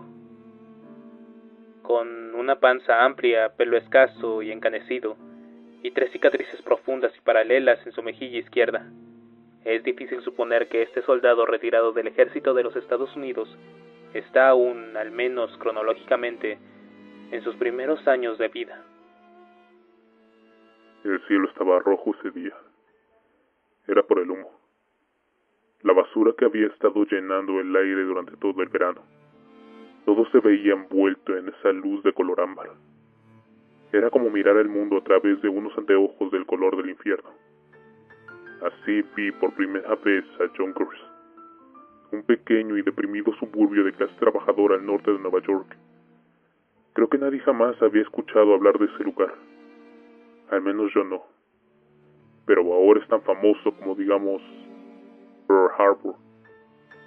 No, no, no, no, Pearl Harbor. Eso fue un ataque sorpresa. Lo nuestro fue más bien parecido a Little Bingport. Porque nosotros, bueno, al menos la gente a cargo sí sabía lo que pasaba. O deberían haberlo sabido. El hecho es que no fue un ataque por sorpresa. La guerra o la emergencia o como quieran llamarla ya me había comenzado a, a indagar en mí algo. Habían pasado que tres meses desde que todo el mundo se había subido al vagón del pánico. ¿Usted recuerda cómo era todo eso? La gente enloqueciendo, tapiando las entradas de sus casas, robando comida, armas, disparándole a todo lo que se movía, eso seguramente mataron a más gente. Todos esos rambos y los incendios y los accidentes de tránsito y toda esa toda esa mierda que ahora llamamos el gran pánico, creo que todo eso mató a más gente que Zack. Supongo que puedo entender por qué los altos mandos creyeron que una gloriosa batalla final era una buena idea. Querían demostrarle a la gente que todavía tenían el control. Querían tranquilizarlos para poder lidiar con el problema de verdad. Los entiendo y como ellos necesitaban darse su publicidad, yo terminé en Junkers. En realidad no era un mal lugar para dar pelea. Parte del pueblo quedaba en un pequeño valle, y justo al otro lado de las colinas estaba el río Hudson. La avenida del arroyo Sow Mill pasaba justo por el centro de nuestra línea principal de defensa, y los refugiados que salían por la autopista estaban guiando a los muertos directos hacia nosotros. Era un cuello de botella natural. Y la idea era buena. La única buena idea que tuvieron ese día. Todd saca otro Q. Un cigarrillo hecho con hojas cultivadas en Norteamérica, llamado así solo porque contiene una cuarta parte de tabaco. ¿Por qué no nos apostaron en los techos? Había un centro comercial, un par de parqueadores, grandes edificios con enormes terrazas. Podrían haber puesto un batallón completo sobre la estación del AIP y eso habría sido todo. Habríamos tenido una vista de todo el valle y habríamos estado completamente seguros del ataque. Había un edificio de apartamentos como de 20 pisos, creo. Cada piso tenía una excelente vista hacia la autopista. ¿Por qué no había un equipo de francotiradores en cada ventana? ¿Sabe dónde nos pusieron? abajo, en la calle, tras un montón de costales de arena y trincheras. Gastamos tanto tiempo, tantas energías preparando esos puestos de combate, bien ocultos y cubiertos, según nos dijeron. ¿Ocultos y cubiertos? Cubiertos se refiere a una protección física convencional, contra armas personales y artillería o explosivos lanzados desde el aire. Algo de eso se aplicaba al enemigo que íbamos a enfrentar. ¿Acaso Zack estaba enviando ataques aéreos o bombas incendiarias? ¿Y por qué diablos estaban preocupados por ocultarnos cuando la idea era hacer que Zack marchara directo hacia nosotros? Jodidos viejos imbéciles, todos ellos. Estoy seguro de que quienquiera que fueran los que estaban a cargo debían ser los últimos jodidos. Fuldas que quedaban, ya sabes, esos generales que pasaron sus mejores años aprendiendo cómo defender a Alemania Occidental contra Iván. Viejos retrógrados y miopes. Seguramente tantos años de guerra oriental medio los tenía con rabia. Tenían que ser eh, tenían que ser ellos. Porque todo lo que hicimos ese día apestaba a tácticas de defensa de la Guerra Fría. ¿Sabía que hasta trataron de excavar pozos de combate para los tanques? Los ingenieros dinamitaron estos enormes huecos en el parqueadero de la estación de la AIP. ¿Y tenían tanques? Viejo, teníamos de todo. Tanques, Bradleys, Humvees armados con todo, desde calibre 50 hasta estos nuevos morteros pesados Basilek. Al menos esos podrían haber servido de algo. Teníamos Hombens, Avenger, con misiles Stinger, tierra-aire instalados encima. Teníamos un sistema portátil de ABLB para construir un puente flotante perfecto para el arroyo de 10 centímetros de profundidad que corría del lado opuesto de la autopista. Teníamos un montón de vehículos XM5 para guerra electrónica llenos de radares y equipo de interferencia. Ah, sí, también teníamos toda una fila de FOLs, letrinas de campaña, instaladas allí en medio de todo. ¿Para qué? Si la presión del agua todavía era constante y había retretes funcionando en cada casa y edificio de aquel barrio, tantas cosas que no necesitábamos en ese momento. Toda esa mierda solo servía para bloquear el tráfico y para verse bonita, y creo que era precisamente para eso que la tenían allá, para que se viera bonita. Para la prensa. Claro que sí. Debía de haber al menos un reportero por cada dos o tres soldados. Estaban en la calle, en camionetas y no sé en cuántos helicópteros de los noticieros, dando vueltas sobre nosotros. Uno pensaría que con tantos helicópteros podrían haber utilizado algunos para rescatar a la gente de Manhattan. Por supuesto que todo eso era para la prensa, para mostrarles nuestro poder asesino camuflado de verde o de café. Algunos acababan de regresar del desierto y no habían tenido tiempo de pintarlos. Había tantas cosas que eran solo para mantener las apariencias, no solo los vehículos, sino también nosotros. Nos tenían metidos en la MOPP-4, el atuendo protector específico para misiones, unos trajes y máscaras grandes y pesadas que por supuesto y supuestamente nos protegían de ambientes peligrosos y exposición química. Quizás sus superiores pensaban que el virus se transmitía por el aire. Entonces, ¿por qué no protegieron a los reporteros? ¿Por qué nuestros superiores no los usaban también, ni nadie más detrás de nuestra línea? Ellos estaban frescos y cómodos, metidos en los UCES, mientras nosotros sudábamos bajo capas de caucho carbón activado y pesados chalecos antibalas. ¿Y quién fue el genio al que se le ocurrió ponernos chalecos antibalas? ¿Era porque la prensa había dicho que no teníamos suficientes chalecos en la última guerra? ¿De qué diablos sirve un casco cuando se pelea contra un muerto viviente? Son ellos los que necesitan cascos, no nosotros. Y luego estaban todos esos aparatos de red, el, sistema de integración de combate, Land Warrior, era toda una serie de artefactos electrónicos que le permitía a cada uno de nosotros conectarse con el resto del equipo y a los demás de arriba conectarse directamente con nosotros. A través de tu visor podías descargar mapas, datos GPS, imágenes de satélite en tiempo real, podrías saber tu localización exacta dentro del campo de batalla, las posiciones de tus compañeros, del enemigo, uno podía ver a través de la videocámara montada en el arma, o la de cualquier otro compañero y observar lo que había al otro lado de un arbusto, o doblando la esquina, Land Warrior le permitía a cada soldado tener toda la información de un puesto de mando y le permitía al puesto de mando controlar todos los soldados como una sola unidad. Netrocéntrico. Eso era lo que decían los oficiales todo el tiempo frente a la prensa. Netrocéntrico e hiperguerra. Las palabras se escuchaban bien, pero no servían para un carajo cuando tenías que excavar una trinchera usando el uniforme MOPP, y esto estando completo en ti. Chaleco antibalas, el equipo Land Warrior y toda la dotación estándar, todo eso en el día más caliente del verano, más caliente que se había registrado nunca. No sé cómo hice para mantenerme de pie hasta que Zack apareció. Al principio, era como un cuentagotas, uno o dos de ellos tambaleándose entre los autos abandonados que bloquean las autopistas desiertas. Al menos los refugiados ya habían sido evacuados. Bueno, esa fue otra cosa que hicieron bien. Escoger un lugar estrecho y evacuar a todos los civiles. Buen trabajo por ello. Pero todo lo demás... Zack comenzó a entrar en la primera zona de fuego, el área designada para los MLRS. No escuché cuando dispararon los misiles porque mi casco ahogó el sonido, pero los vi volar directo hacia el objetivo. Vi cómo hacían un arco hacia abajo y el fuselaje exterior se abría para soltar esas pequeñas bombas ensartadas con cordones de plástico. Son más o menos del tamaño de una granada de mano, antipersonal, con una limitada capacidad antitanques. Se regaron entre los Gs, detonando tan pronto como golpeaban el suelo o algunos de los autos abandonados. Los tanques de combustible estallaron como pequeños volcanes, de fuego y chatarra que se sumaron a la lluvia de acero.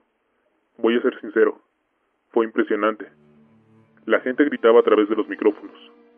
Yo también, viendo esos zombies tambalearse y caer al suelo. Yo diría que había como 30, quizá 40 o 50 a lo largo de aquel kilómetro y medio de carretera. El primer bombardeo eliminó tres cuartas partes de ellos. ¿Solo tres cuartas partes? Ajá. Y eso debería habernos preocupado mucho. La lluvia de acero golpeó a todos y cada uno de ellos. Les destrozó las tripas. Había órganos y carnes regados por todo el maldito lugar, desprendiéndose de sus cuerpos mientras seguían caminando hacia nosotros, pero impactados en la cabeza. Había que destruir el cerebro, no el cuerpo, y en tanto les quede un pensadero completo y algo de movilidad, algunos seguían caminando y seguirán caminando. Otros habían quedado muy mal y se arrastraban.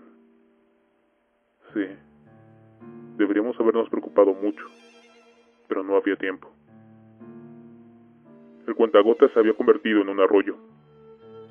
Más Gs, docenas de ellos apretujados entre los autos incendiados. Algo curioso sobre Zack. Uno se imaginaba que estarían vestidos con sus mejores ropas. Así era como los mostraban en la televisión, sobre todo al principio. Con trajes ejecutivos y ropa de trabajo, como una muestra representativa de la Norteamérica de todos los días, solo que muertos. Así no era como se veían. Casi todos los infectados, los primeros infectados, los de la primera epidemia murieron en el hospital o en sus camas en casa. Casi todos llevaban esa bata de hospital o pijamas. Algunos iban en boxers o ropa interior o desnudos. Muchos tenían todo afuera. Uno podía verles las heridas, las marcas resecas sobre el cuerpo, unos huecos que te daban escalofríos incluso con el calor del uniforme. La segunda lluvia de acero no tuvo ni la mitad de impacto que la primera porque ya no quedaban tanques de combustible en los autos, y todos esos Gs apretujados se cubrían los unos a los otros de una posible herida en la cabeza. Yo no tenía miedo, aún no. Quizá no estaba tan firme, pero estaba seguro de que me recuperaría cuando Zack entrara a la zona de fuego de la artillería. Una vez más, no pude escuchar el fuego de los paladins en las colinas detrás de nosotros pero sí vi y escuché cuando las municiones aterrizaron. Eran GE-155 estándar, núcleos explosivos con cubiertas de fragmentación. Hicieron mucho menos daño que los misiles. ¿Por qué? En primer lugar, no hay efecto de globo. Cuando una bomba estalla cerca de uno, hace que los líquidos del cuerpo comiencen a hervir. Literalmente te estalla como un globo. Eso no le pasa a Zack. Quizá porque tienen menos fluidos corporales que nosotros o porque sus fluidos son como una gelatina, no sé, pero no les hizo ni mierda y tampoco sufren de TNR. ¿Qué es TNR? Trauma nervioso repentino. Creo que así se llama. Es otro de los efectos de las explosiones a corta distancia. El trauma es tan grande a veces que todos los órganos y el cerebro, todo junto, simplemente se desconectan como si Dios te apagara el interruptor. Tiene algo que ver con los impulsos eléctricos o algo así. No sé, no soy un maldito doctor. ¿Pero eso no le sucedió? Ni a uno. Bueno, no me malinterprete. Zack tampoco venía brincando por entre las bombas sin sufrir daño. Vimos cuerpos volando a la mierda, dando vueltas en el aire, partidos en pedazos, algunas cabezas sueltas con ojos y bocas que todavía se movían, volando por el aire como jodidos corchos de champaña. Los estamos acabando, claro, pero no tan rápido ni tantos como necesitábamos. Ahora parecíamos mirando un río, una inundación de cuerpos cojeando, gimiendo, pisoteando los restos de sus hermanos mientras avanzaban perezosamente hacia nosotros como una ola de cámara lenta. La siguiente zona de fuego era la del armamento pesado, los cañones 120 de los tanques y los Bradleys con sus ametralladoras y misiles Polat. Los Humvees también abrieron fuego con morteros y misiles Mark 19 que son como metralletas pero que disparan granadas. Los comanches pasaron silbando casi centímetros sobre nuestras cabezas con ametralladoras, Hellfires y paquetes de cohetes Hydra. Era una maldita máquina de moler carne, un aserradero y una nube de materia orgánica que pulverizada flotaba como acerrín sobre la borda. Nada puede sobrevivir a esto, pensé, y por un momento parecía que tenía razón, hasta que el fuego comenzó a agotarse. ¿Cómo que agotarse? Se acabó. No fue suficiente. Nadie pensó en eso, nadie. Y que no me salgan con esos cuentos sobre recortes de presupuesto y escasez de suministros. Lo único que escaseó ese día fue el maldito sentido común. A ninguno de esos imbéciles de cuatro estrellas graduados de la Academia Militar de West Point y con el culo lleno de medallas se les ocurrió decir, oigan, tenemos un montón de armas impresionantes, ¿las mandamos suficiente a mierda para disparar? Nadie pensó en cuántas rondas de artillería se necesitarían para mantener las operaciones por varias horas, cuántos misiles para los MLRS, cuántos cilindros de metralleta, los tanques tenían de estas cosas llamadas cilindros de metralla. Imagínese un cartucho de escopeta gigante. Disparaban un montón de bolitas de tuxteno, pero no eran perfectas. Ya sabe, se desperdiciaban como 100 bolas por cada G que aniquilaban. Y mierda. Al menos servían de algo. Cada Abrams tenía solo tres de esas. Tres. Tres, por Dios santo. Cuando podían cargar 40, el resto eran municiones estándar de Hito Sabot. ¿Usted sabe lo que pasa cuando una bala de plata, un dardo antiblindaje de uranio empobrecido golpea a un grupo de muertos vivientes? Nada. ¿Sabe lo que se siente ver un tanque de sesenta y tantas toneladas disparándole a una multitud sin jodido efecto alguno? Tres cilindros de metralla. ¿Y dónde estaban las saetas? Esa era el arma de la que más hablaban en esos días. Saetas, paquetes de pequeñas púas de acero que convierten instantáneamente a cualquier arma en una regadera. Hablamos de ellas como si fueran un invento nuevo, pero las teníamos desde, a ver, desde Corea. Podíamos cargarlas en los cohetes Hydra y en los Mark 19. Solo imagínese eso.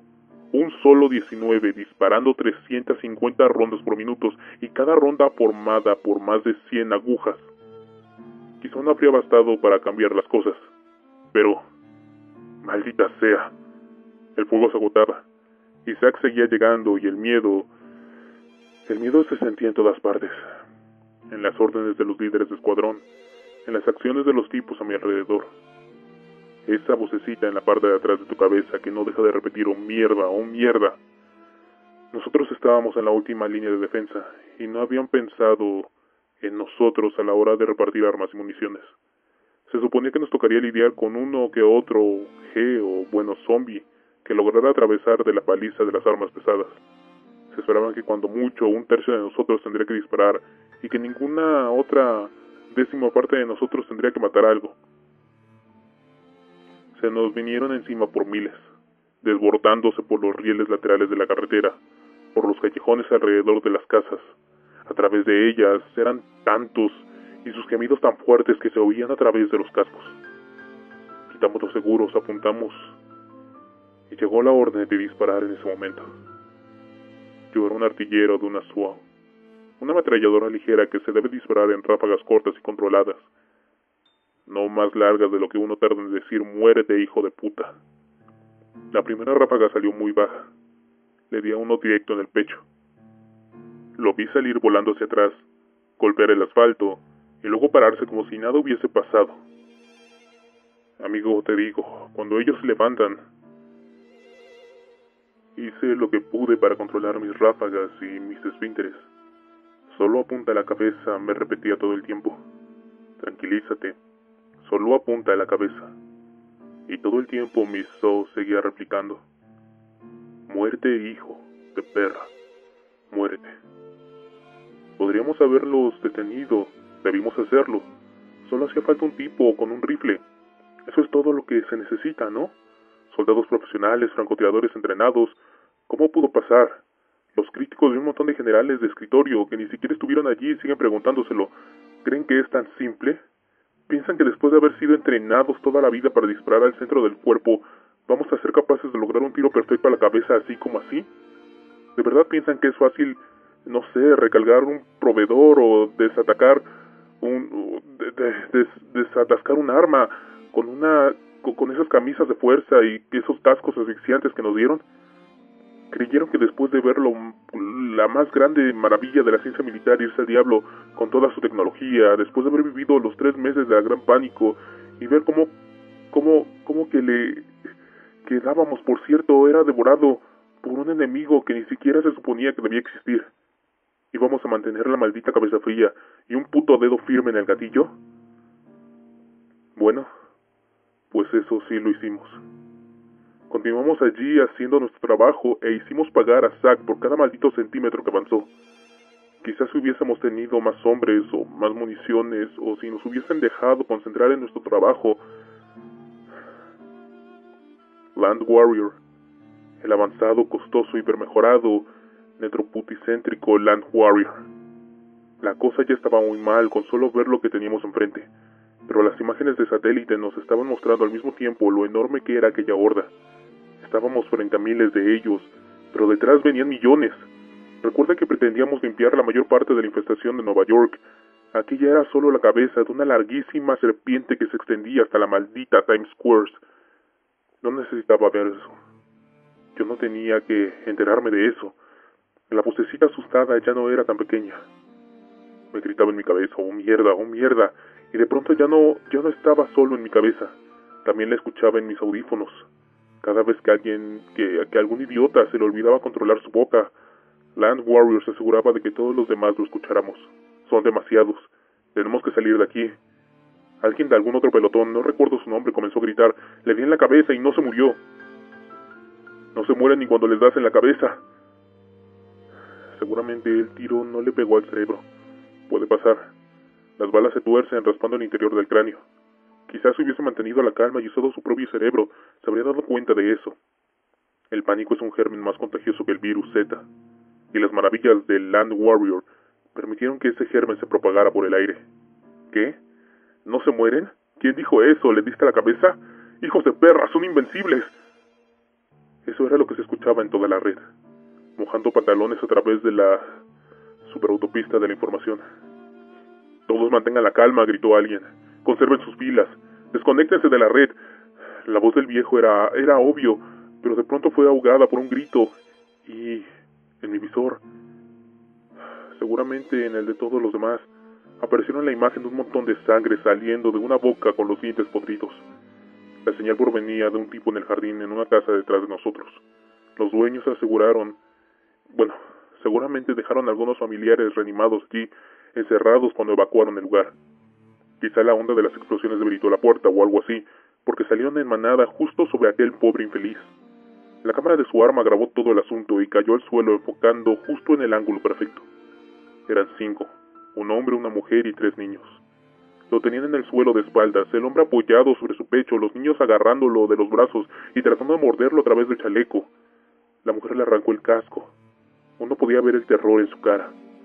Nunca voy a olvidar el grito que pegó cuando le arrancó el labio inferior de un mordisco. Está detrás, gritó alguien más. Está saliendo de las casas. Las líneas no funcionan. Están en todas partes. De pronto la imagen se apagó. Alguien arriba la interrumpió y la voz del viejo regresó. Desconéctense de la red, nos ordenó, haciendo un gran esfuerzo por sonar tranquilo y luego la señal desapareció. Estoy seguro de que debió tomarles más de unos segundos. Tenía que ser así incluso si estaban justo sobre nuestras cabezas, pero pareció que justo al mismo tiempo que nos cortaron la comunicación el cielo se llenó con el rugido de los JSF-24. No alcancé a ver cuántos liberaron su carga.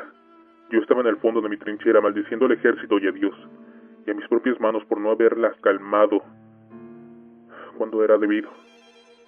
La tierra tembló y el cielo se oscureció. Había escombros por todos lados, tierras y cenizas, y mierda en llamas volando sobre mi cabeza, Sentí algo que chocó contra mi espalda, algo blando y pesado. Me di la vuelta. Era una cabeza y un torso, achicharrados y echando humo, y todavía tratando de morderme. Lo alejé de una patada y salí corriendo de mi agujero apenas unos segundos después de la última detonación. Me encontré con una nube de humo negro en el lugar donde había estado la horda. La autopista, las casas, todo estaba cubierto por esa nube de oscuridad. Recuerdo que vi a otros tipos saliendo de sus trincheras, asomándose por las trampillas de los tanques y los Bradleys, todos mirando hacia esa oscuridad. Hubo un silencio, una calma que al menos en mi mente duró por horas. Pero entonces salieron de entre el humo, como una maldita pesadilla de algún niño. Algunos humeaban, otros todavía estaban arriendo, algunos de ellos caminaban, otros se arrastraban, algunos solo se retorcían sobre sus bases abiertas en piernas. Quizá uno de cada veinte seguía moviéndose, lo que dejaba, mierda, unos dos mil y detrás de ellos mezclándose entre sus filas y avanzando constantemente hacia nosotros los millones y que el ataque aéreo ni siquiera había tocado. Allí fue cuando la línea colapsó. No lo recuerdo todo claramente. Lo veo como una serie de fotografías. Gente corriendo, soldados, reporteros. Recuerdo un reportero con un mostacho tipo Sam Bigotes sacando una vereta de su chaqueta justo antes de las tres Gs. En llamas lo derribaran. Recuerdo un tipo que abrió a la fuerza la puerta de una camioneta del noticiero, saltó adentro, echó a la calle a una bonita reportera rubia y trató de alejarse, pero un tanque lo aplastó a los dos. Dos helicópteros de las noticias se chocaron en el aire, bañándose con su propia lluvia de acero. El piloto de uno de los comanches, un valiente hijo de perra, trató de barrer con su rotor a la ola de, de, zombies que se nos venían encima. La hoja abrió su surco, entre aquella masa antes de atascarse contra un auto y arrojar todo el helicóptero contra la estación de A y P. Disparos, eh, disparos al azar, una bala me pegó en el esternón, en el centro del chaleco antibalas. Sentí como si chocaran corriendo contra un, un, muro. Aunque no me estaba moviendo. Me tiró al suelo. Casi no podía respirar y justo en ese momento en eh, a algún idiota se le ocurrió lanzar una granada aturdidora justo frente a mí. El mundo se volvió todo blanco. Me silbaban los oídos. Me congelé. Las manos me agarraron, me, me cogieron por los brazos. Comencé a patear y a dar puños. Mientras pierna estaba mojada y caliente, grité, pero no podía oír ni mi propia voz. Mis manos, mucho más fuertes, estaban tratando de arrastrarme. Perdón. Esas manos trataban de arrastrarme a alguna otra parte. Pateé, me retorcí, grité, lloré. Y de pronto, un puño me pegó de lleno en la mandíbula. No me nopió, pero me relajé de inmediato. Eran mis compañeros. Zack no pega puños. Me llevaron hasta el Bradley más cercano. Había recuperado mi visión, lo suficiente como para ver la línea de luz que desaparecía al cerrarse la puerta. Yo sé que a los historiadores profesionales les gusta decir que los Junkers fue una falla catastrófica de la maquinaria militar moderna, que provocó ese adagio de que los ejércitos pretenden o aprenden cómo combatir en una guerra solo cuando ya están comenzando la siguiente. En lo personal creo que no tiene ni puta idea de qué es eso. Claro, no estábamos bien preparados, nuestro equipo, nuestro entrenamiento, todo lo que le acabo de decir, todo fue una metida de patas de primera. Pero el arma que más falló no fue ninguna de las que salen de las líneas de producción. Es una tan vieja como, no sé, supongo que tan vieja como la guerra misma. El miedo, amigo. Solo el miedo. Y uno no tiene que ser el maldito Sun Tzu para saber que la guerra no se gana matando o lastimando al del otro lado, se gana metiéndole miedo, hasta que decida que no quiere seguir peleando, destruir sus espíritus. Eso es lo que intenta todo un ejército, desde la pintura en la cara hasta el Bigstrich y hasta cómo fue que llamamos el primer ataque de la Segunda Guerra del Golfo, sorpresa y temor. Un nombre perfecto, sorpresa y temor. Pero ¿qué pasa si el enemigo no puede ser sorprendido y atemorizado? No porque no quieran, sino que biológicamente no se puede hacer. Eso fue lo que pasó ese día en las afueras de Nueva York. Esa fue la falla que casi nos cuesta toda la maldita guerra. El hecho de que no pudimos sorprender y atemorizar, Zack se devolvió como un boomerang y nos pegó en la cara. Y permitió que Zack nos sorprendiera y nos atemorizara a nosotros. Ellos no sienten miedo, sin importar lo que hagamos, sin importar cuántos matemos, ellos nunca, nunca van a tener miedo. Se suponía que Junkers sería el momento en que le devolveríamos la esperanza al pueblo de Norteamérica. Y en vez de eso, prácticamente les dijimos que podían despedirse y morirse. De no ser por el plan sudafricano, todos nosotros estaríamos cojeando y gimiendo en este momento. Lo último que recuerdo fue que el Bradley salió volando como si fuera un carrito de juguete. No sé dónde cayó la bomba, pero estoy seguro de que fue cerca. Si hubiese estado parado allá afuera cuando cayó, expuesto, no estaría contando esto ahora. ¿Alguna vez has visto los efectos de una bomba termobárica? ¿Alguna vez se lo ha preguntado a alguien con estrellas doradas en los hombros? Le puesto mis testículos a que nunca le van a contar toda la verdad. Le van a decir sobre el calor y la presión, la bola de fuego que se sigue expandiendo sin parar, explotando y literalmente aplastando y quemando todo lo que se encuentra en su camino. Calor y presión. Eso es lo que quiere decir la palabra termobárico. Suena bastante mal, ¿no? Lo que nadie le va a contar es lo que pasa justo después, cuando el vacío creado por la bola de fuego se contrae. Cualquiera que haya quedado vivo sentiría que el aire se le sale de los pulmones. Y esto nunca lo van a admitir frente a nadie. Se les saldrán los pulmones por la boca. Por supuesto, nadie va a quedar vivo para contarle una historia de horror de esas. Y quizá por eso el Pentágono ha tenido tanto éxito en encubrir la verdad.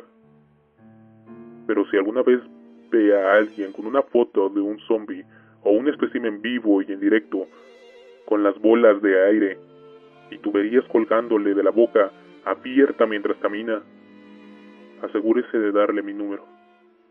Siempre estoy dispuesto para hablar con otro veterano de los Junkers.